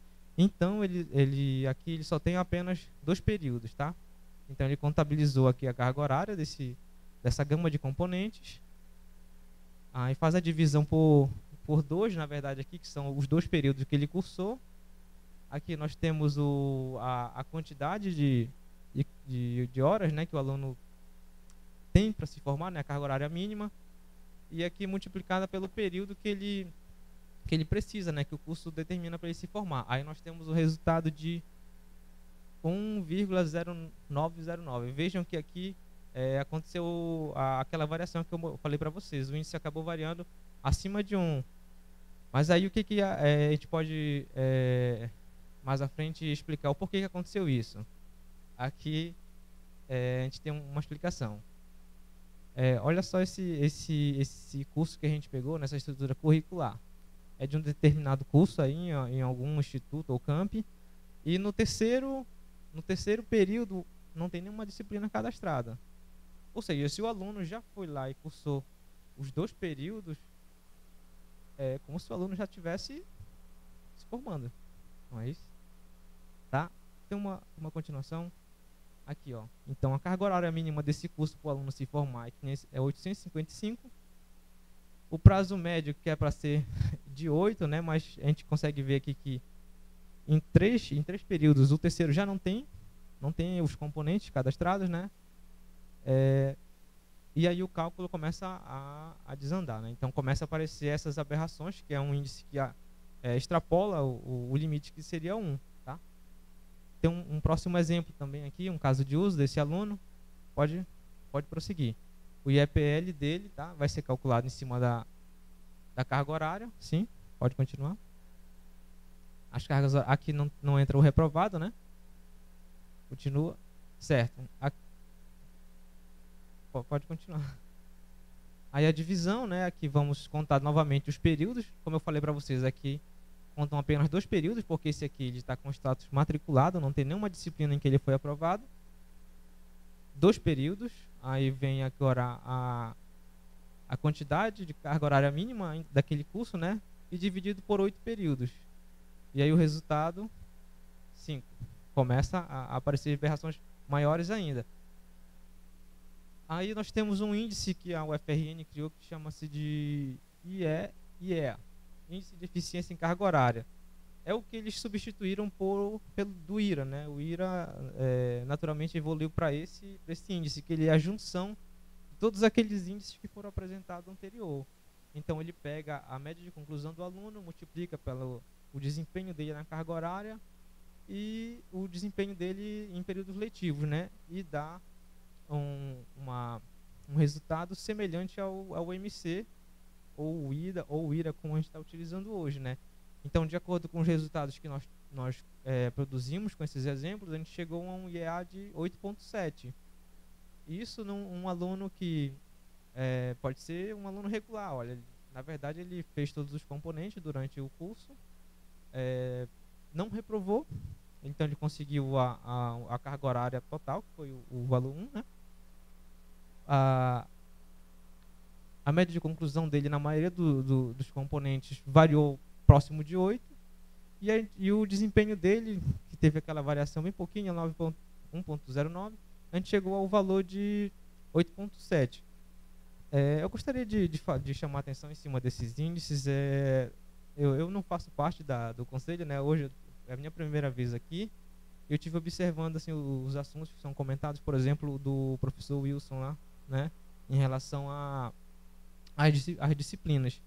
O que a gente conseguiu é, observar em cima desses índices é que em alguns, alguns, alguns cursos da universidade a gente vê que tem semestres que tem 16 disciplinas. A gente já viu isso. Aí, então, o, esses índices acabam mostrando outras coisas para a gente, né? Por que, que um curso é, é, que é para demorar cinco anos, é, no primeiro semestre ele enche de disciplinas o aluno, né? Então, a gente consegue observar também através desses índices. Foi uma coisa que eu, eu observei a partir da fala do professor Wilson, tá?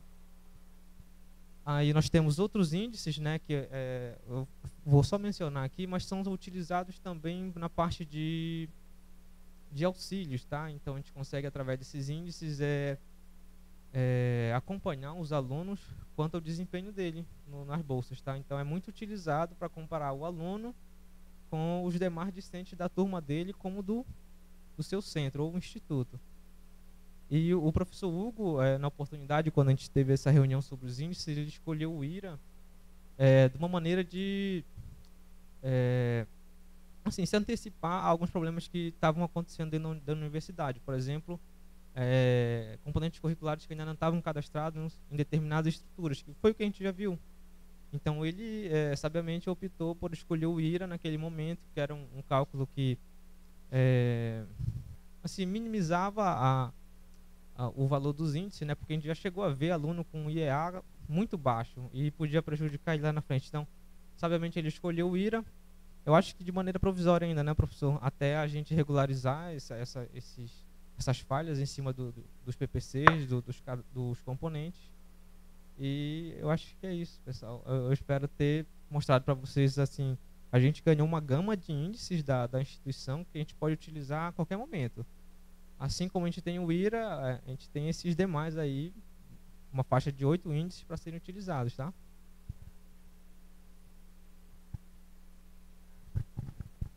Obrigado, André.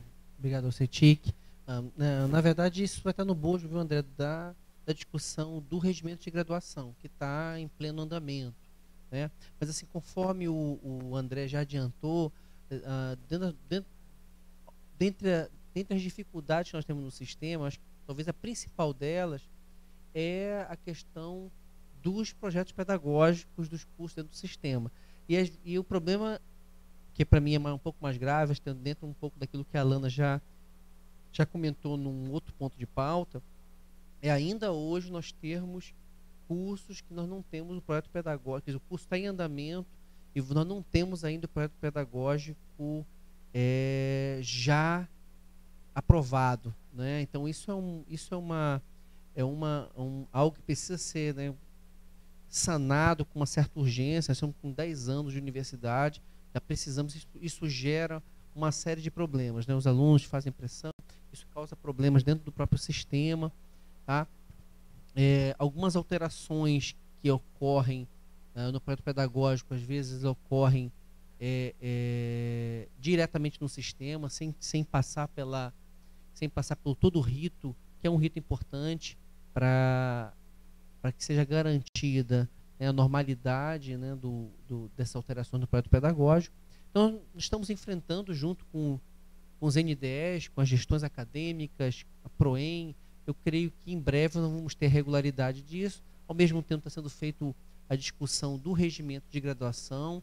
Né? Então, é, uma vez isso resolvido, nós vamos ter já é, de antemão esses índices prontos, podemos pensar em outros, é claro. Né? A, a, recomendação que a gente tem falado, né? já houve inclusive no Fórum de Graduação, creio que uma fala nessa direção sobre que é um, algo que sempre nos contrapõe, dizer, nos, o, o, um desafio que se coloca dentro de nós, né?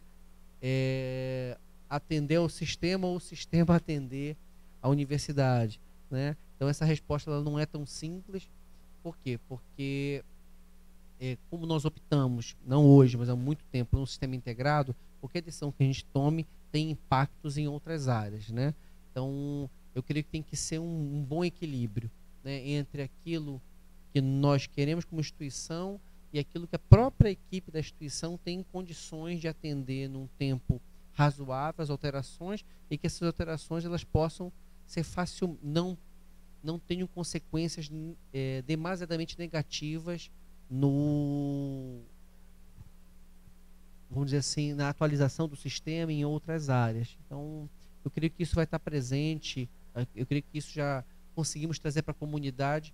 E não adianta a gente pensar num, num, numa normativa sem pensar em como ela vai ser executada. Creio que acho que isso já nós estamos amadurecidos quanto a isso. Então, quando nós, seja lá o que for que os conselhos superiores é, e os demais fóruns é, decidirem, creio que estão atentos a isso é, na execução né, dessa política ou dessa decisão que foi tomada. Alguma consideração com relação a isso? Alguma pergunta ao CETIC, a PROEM? Pois não, Igor, fique à vontade. Igor é, nosso, é um dos coordenadores do Diretor Central do Estudante. Seja bem-vindo. Eu vi, eu vi o conselheiro Edson também.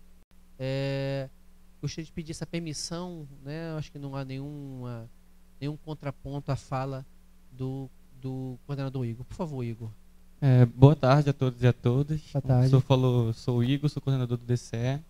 É só para uma dúvida, na verdade. Como é, tem oito índices lá, a gente, pelo que eu entendi, vai ficar o IRA como o principal índice. E aí ele também vai ser usado por hora para os editais que se utilizavam o IDA porque isso a gente precisa passar informações para os alunos, porque a gente tá, a gente começou com a mudança, a gente viu um monte de índice lá, não sabia qual a gente tinha que considerar como principal. A gente tentou entender também, imaginar qual seria, e a gente ficou com essa dúvida.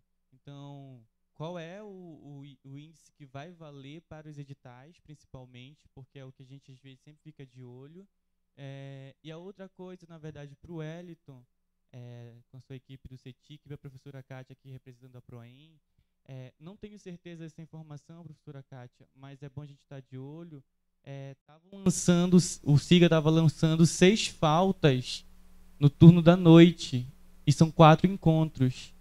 Tá? Então, só para a gente começar a buscar, eu não sei se o Hélio tem alguma informação, se estava dando algum problema nesse sentido, só para a gente ficar de olho, alguns alunos estavam reclamando dessas faltas, além do, da quantitativo de aulas que estava tendo no turno. É isso. É, antes de passar a palavra para o conselheiro Edson, é, o Wellington é, e Kátia, né, tentar dar uma resposta depois para o Igor sobre isso, por favor. É, eu creio que uma coisa importante, Igor, e aí creio que isso vai vai estar no bolso dessa discussão do regimento de graduação, é, esse índice principal, seja ele qual for, né, o que, que nós queremos, é, vamos dizer assim, priorizar, porque nenhum índice ele é preciso, ele é uma tentativa de quantificar, né, um, é, é, um, é uma tarefa cruel que nós professores temos que fazer sempre, pegar o desempenho, toda uma atividade do aluno numa disciplina e botar isso num número é uma, é uma tarefa sempre ingrata e sempre, é, vamos dizer assim, é um olhar, é, um, é, uma, é, uma, é uma dimensão que o professor é, é, olha. É claro que ele, ele tenta o máximo possível é, abarcar várias dimensões naquele número, mas nem sempre, ou na verdade posso dizer, nunca isso é perfeito, né? Eu creio que nem existe essa perfeição. Então, o próprio índice passa por isso, né? Pegar um olhar sobre a vida acadêmica do aluno, do discente, colocar ali isso num número. Então, é, é importante sim, nós temos vários índices, cada um deles olha é, é, alguma dimensão. Então, esse índice hoje principal da, do da UFRN, ele tenta olhar nota e tenta olhar é, se o aluno está no percurso, é, no tempo correto, vamos dizer assim. Então, nota o, o, o tempo correto, não é? E, e também a, o aproveitamento dele da carga horária, vamos dizer assim, né? Então, carga horária que ele foi aprovado né, naquela carga horária. Então, ele junta tudo isso num índice. O nosso IDA é, não contemplava todas essas, essas dimensões. Quando a gente colocou e, e, e automaticamente fez a, fez a atualização do sistema, então foi para o padrão, para o histórico, o IEA. E aí, como nós não estamos preparados por conta de, dos problemas que nós já citamos, né, de alguns projetos pedagógicos não estarem é, é, totalmente inseridos no sistema, é, também tem essa disparidade importante que o André é, falou. Né, você tem semestres muito grandes e outros semestres pequenos. É uma, algo também que vai interferir nesses índices. Então, nós vamos amadurecer isso isso vai estar na, na, na discussão do regimento de graduação. Tá? Conselheiro Edson, por favor. Boa tarde novamente. É, a gente que está há mais tempo aqui no Concep, a gente vê que algumas pautas sempre voltam, né? Tipo, curso que não tem PPC. Mas a gente acaba de aprovar dois editais, então com certeza a gente está aprovando curso que não tem PPC e ofertando no processo seletivo, né? E eu, eu acho que provavelmente daqui a um ano a gente vai estar aprovando edital e vai ter curso sem PPC. Então, a gente com essa perspectiva de que a gente sempre vai resolver, a gente vai empurrando, né? E aí desemboca lá no sistema depois. É, a minha dúvida sobre o sistema, porque na verdade eu não, entendo, eu não entendo muito bem essa parte, que eu sou de humanas, né? Mas assim, eu lembro das perguntas que eu fiz na reunião anterior. Com esse índice que nós temos hoje, a questão dos aproveitamentos de estudo, era, foi a dúvida na reunião anterior. Quando o aluno faz aproveitamento de estudo a partir de componente que é ofertado na própria instituição, seja num outro curso ou no outro instituto, que ele faz esse aproveitamento, essa nota que ele tirou lá reflete no índice dele e de que forma? E quando ele traz componente cursado em outra instituição de ensino, reflete e a minha a segunda dúvida era, que o senhor acabou de tocar nesse ponto. Quando o aluno ele, o aluno ele pode fazer o, ele tem uma estrutura curricular, aquela estrutura curricular está tá dividida em períodos, que é a estrutura ideal. Mas a gente sabe que aqueles componentes não são ofertados naquele, daquela forma, porque depende de professor, de vários fatores. E quando o aluno cursa aqueles componentes fora do que está na estrutura, isso também tem impacto no IDA, porque uma coisa é o aluno não se matricular, mas a outra coisa é não ser ofertado para ele e é isso aumentar ou reduzir o índice dele, né? E aí isso, claro que de fatores que independem da vontade dele, falta de docente, etc, etc. Isso, tem, isso que, eu, que, que eu queria ficar, ver no cálculo o que realmente entra, o que não entra e por que não entra. E sobre a questão do PPC, André, eu posso ter desconhecimento, mas assim, de fato, nós temos, tínhamos temos é, estruturas curriculares que num semestre tem lá 16 cadastrados, 16 componentes. Mas a gente tem que ver qual é a natureza desse componente. Por exemplo, se tu pegar um curso de direito, tu vai ver lá um semestre tá 20, 15, mas são componentes, grande parte, componentes optativos, que estão na estrutura curricular, mas que não são ofertados todos. Aquele é o leque de, de componentes que o curso pode ofertar para o aluno o aluno vai ter que cumprir 180 horas, ou seja, daquele rol maior, ele vai escolher alguns para fazer, mas precisa constar na estrutura, não que ele precise fazer todos. Então, assim, a gente tem que ver, antes de mensurar o número de componentes, qual é a natureza desse componente dentro do PPC. Então, a gente não pode querer analisar a estrutura curricular e não ter do lado o PPC, para ver a natureza desse componente. Vou passar para o André, não sei se ele consegue responder agora essas negações importantes sobre a questão do aproveitamento, mas deixa eu lhe falar, é, é, Edson, algo importante e a, salvo, né, eu esteja enganado, o nosso ida, ele, ele dava maior peso à medida assim, à medida que ele, eu, eu participei da discussão desse ida lá quando ele estava sendo pensado, né? Eu já alertava naquele momento sobre algumas dificuldades. Por quê? Porque ele, ele ao longo do tempo, ele diminui o peso, diminuía, né? Tipo assim, o IDA propõe, diminuía o peso dos semestres primeiros. Então, quando você cursava uma disciplina que era lá do início, depois, de certa maneira, isso era tinha um peso maior do que quem de fato fez no período correto. Então, quer dizer, isso é normal que os, cada índice tenha distorções. É difícil você escolher o melhor índice, né? Então, o IRA não tem essa distorção agora. Então, como eu disse, vai ser algo que a gente vai ter que pensar é, é, é, o que, que a gente quer colocar como algo, algo que tenha maior peso né, nos índices. Então, hoje hoje é, não, tem, não tem diferença.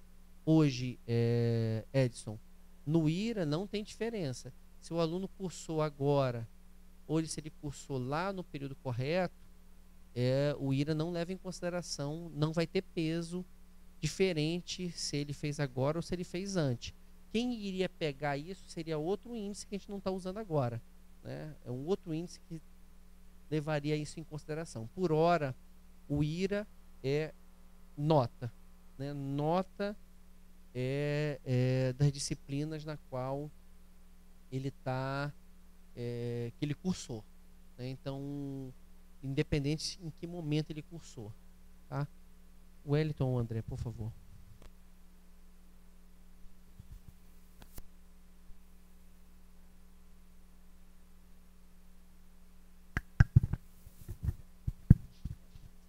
Oi. Boa tarde. É, só respondendo antes aqui a pergunta do Igor, em relação à questão das faltas, a gente não, não pelo menos não chegou ainda para a gente essa, essa demanda lá. Aí seria importante a gente saber se, se essa questão ela já foi levada para a coordenação de curso, né? se os coordenadores já estão sabendo desse problema. Porque o fluxo é, para a solução é o discente procura sua coordenação de curso para informar que está acontecendo problema. Coordenação de curso, se ela não consegue resolver o problema internamente lá, ela repassa isso para a PROEM. E a PROEM tenta resolver. Se ela não conseguir, tecnicamente ela passa para o CETIC. E aí o CETIC vai verificar se é um problema técnico lá no, no sistema. Então, assim, no momento, porque eu posso te dizer, Igor, que é, realmente não chegou ainda para a gente isso lá. Beleza? É, em relação Deixa eu abrir aqui. Em relação à a, a, questão do Edson, né, que ele colocou uh, sobre aproveitamento de curso, uh, se é utilizado, se dá para aproveitar o, os créditos de outra instituição. Bom, eu, eu não conheço a fundo esses índices, né? Não, não peguei meio que o bonde andando. O IRA, inclusive, é um índice já obsoleto, é, passado. Então ele, a gente tem índices melhores para medir, se bem que é ruim a gente usar. Minha assistente falando.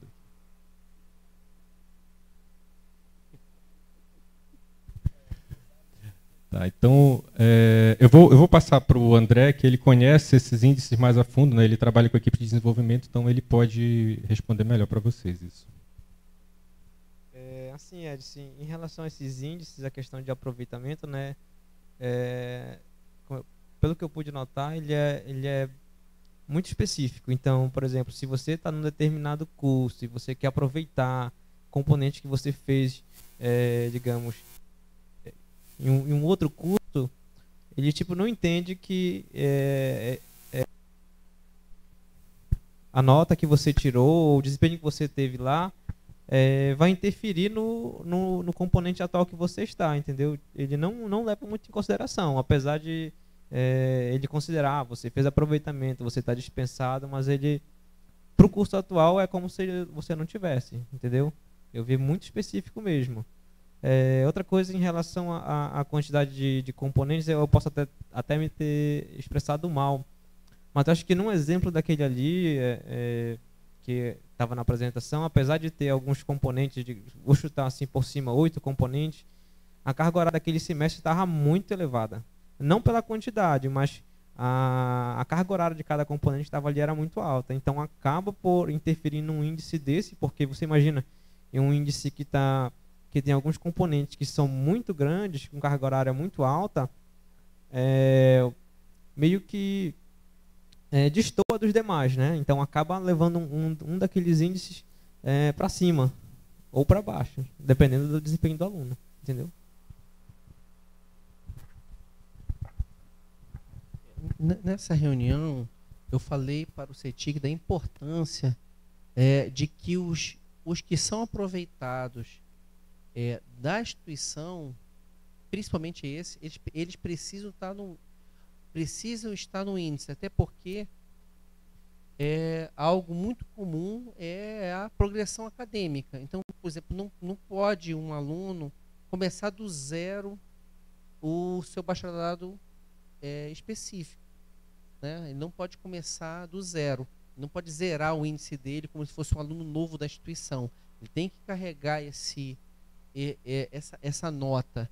Não é?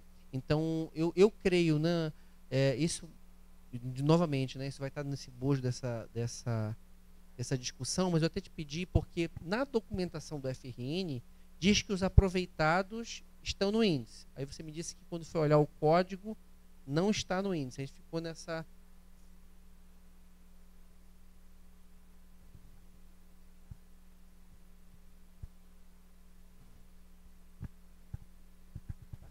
É, é, Edson, só aproveitar. É, a, a sugestão, pelo menos aqui que eu tinha entendido, era o quê?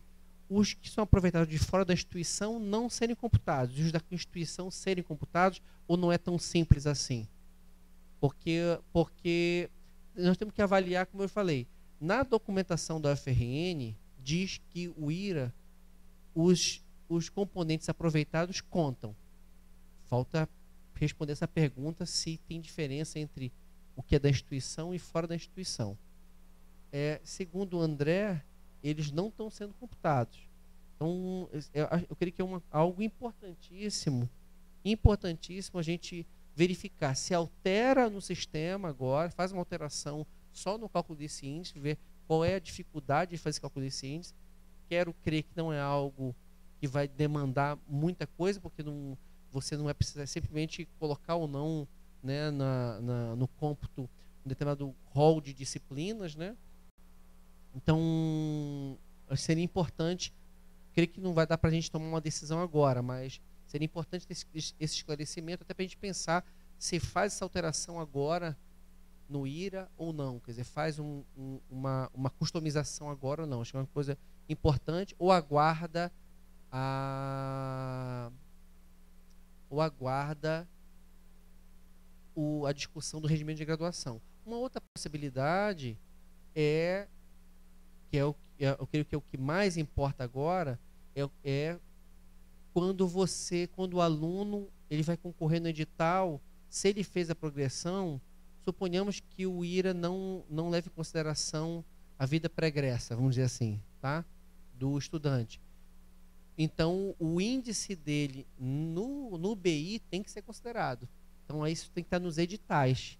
Seleção do aluno, quer dizer, olha, por mais que o, o índice dele não pode ser utilizado só o do bacharelado, é, é, não só do, do bacharelado profissional. Tem que pegar o índice do bacharelado profissional e do BI, para esses casos. Né? Então, é uma coisa ou outra que a gente tem precisa, precisa providenciar para não prejudicar esses alunos nas, na concorrência nos editais.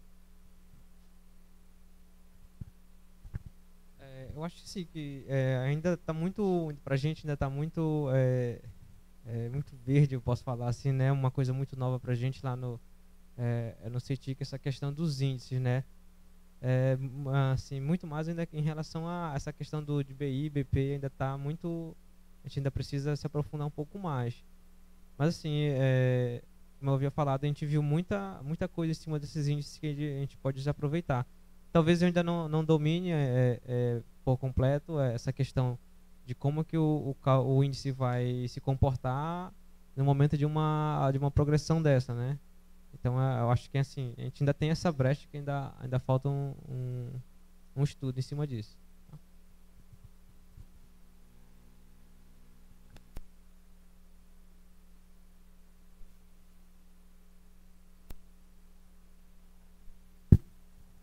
É, eu queria fazer algumas colocações para o Igor que saiu, não sei se ele está por aí. É, o IRA já está sendo utilizado, inclusive ele é o índice que vai ser utilizado na aquele edital de Mobim que nós acabamos de aprovar, tá?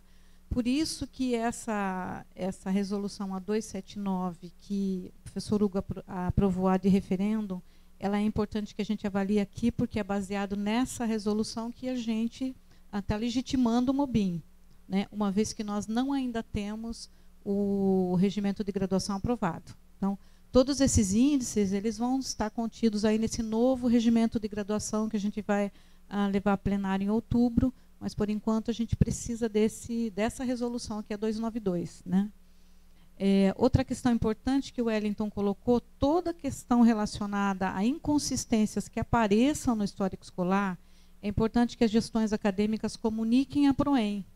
Então, a gente, não tendo noção do que está acontecendo, não tem como a gente né, é, enviar para o CETIC, nem resolver o problema. Tá? Então, se os alunos uh, perceberem que está tendo inconsistência nos seus históricos, podem encaminhar via gestão acadêmica essa, essa notificação para a PROEM e a gente vai verificar porque muitos, é, muitos aspectos que têm aparecido no CIGA também a gente está se apropriando, também é novo para nós. Né?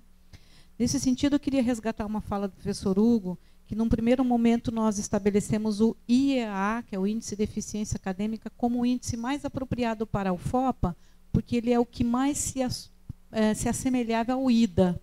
E por que, que nós verificamos que não poderíamos, nesse momento, utilizarmos esse índice, porque principalmente os cursos fora de sede, nos campi fora de sede, eles ainda não têm o PPC totalmente fechado as grades e cadastradas as grades.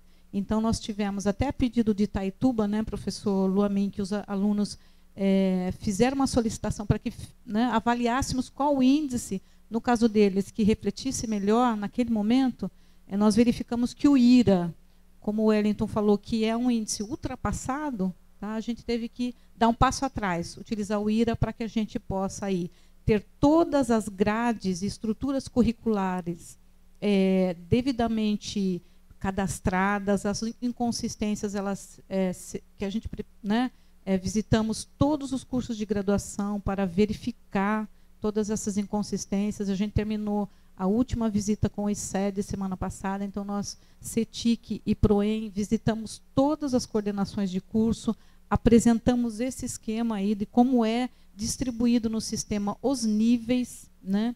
E essas questões que o André coloca de alguns cursos realmente terem é, semestres ou níveis com uma carga horária muito elevada e outros semestres com carga horária muito pequena, essas é, proporções a gente precisa trabalhar e nós fizemos aí recomendações a todos os NDEs, a ProEM e CETIC encaminharam, é, fizemos encaminhamentos de respostas que a gente está guardando de todos os cursos, né? tem cursos com mais inconsistências, outros com os menos, mas todos os cursos, de uma maneira geral, vão ter que fazer tabelas de equivalências de disciplinas, né? Então, todos esses aspectos de grades e estruturas curriculares, elas refletem aqui no IRA que a gente está trabalhando. É, com relação à pergunta do, do conselheiro Edson, especificamente, sobre esses três termos, é o dispensado, o trancado e o cancelado. São esses que não entram no cálculo do IRA, porque eles não têm nota. Então, o que não tem nota não entra, é aquele cumpriu, não cumpriu. Então, por exemplo, um aproveitamento. Né? Se ele não é, cumpriu ou não cumpriu, ele é equivalente, então não tem nota, ele não vai entrar no cálculo.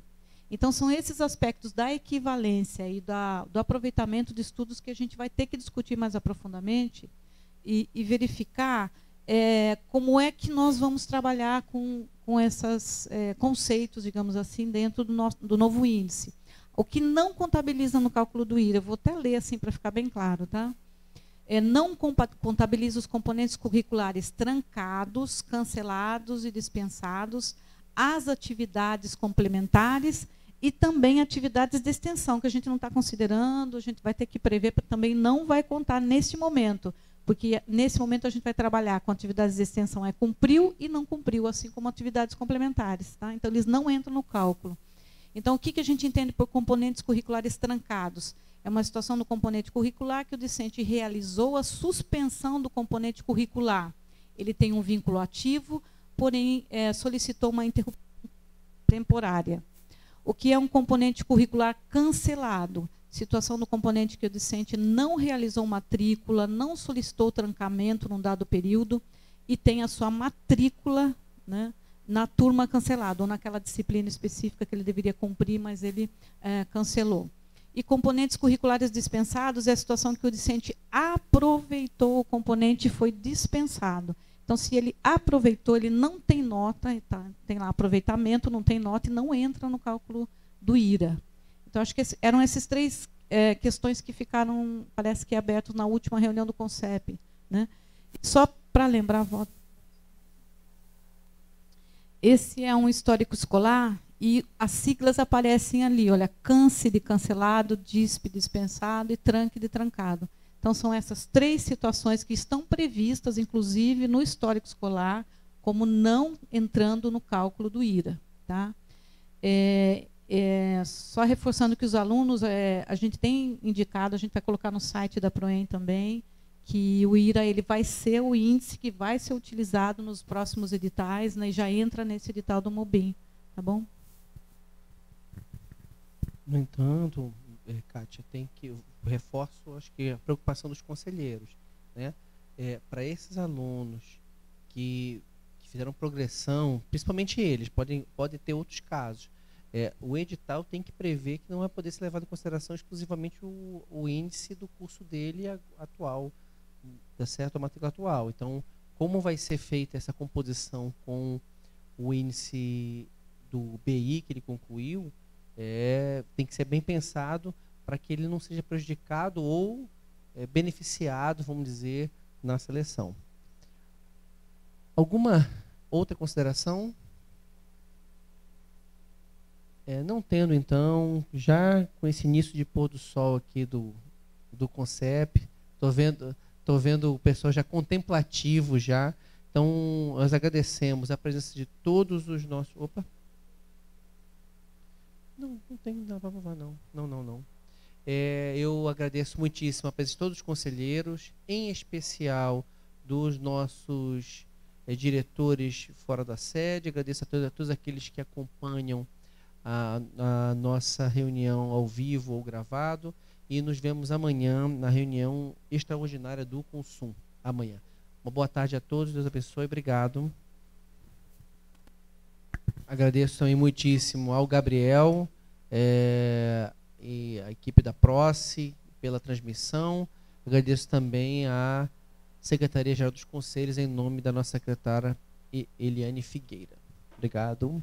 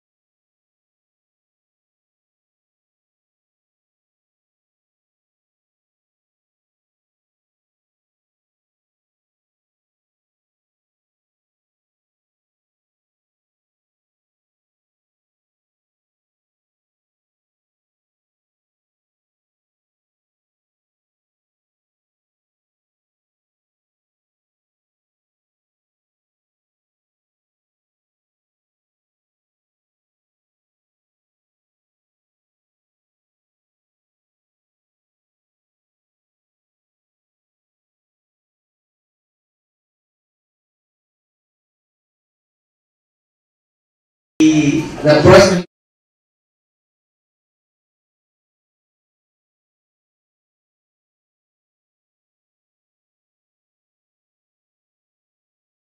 Mas isso vai ficar para a próxima reunião do CONCEP, porque eu cometi um erro, porque a gente adiou a, a apreciação do ad referendo que mudou o índice para ter mais informações. Então a gente vai ter que, na próxima reunião do CONCEP, voltar para apreciação do ad referendo. Eu peço desculpas, viu, Kátia? A Kátia ainda me falou, mas eu não tinha entendido e você estava correta. Me perdoem pelo erro de encaminhamento. Obrigado.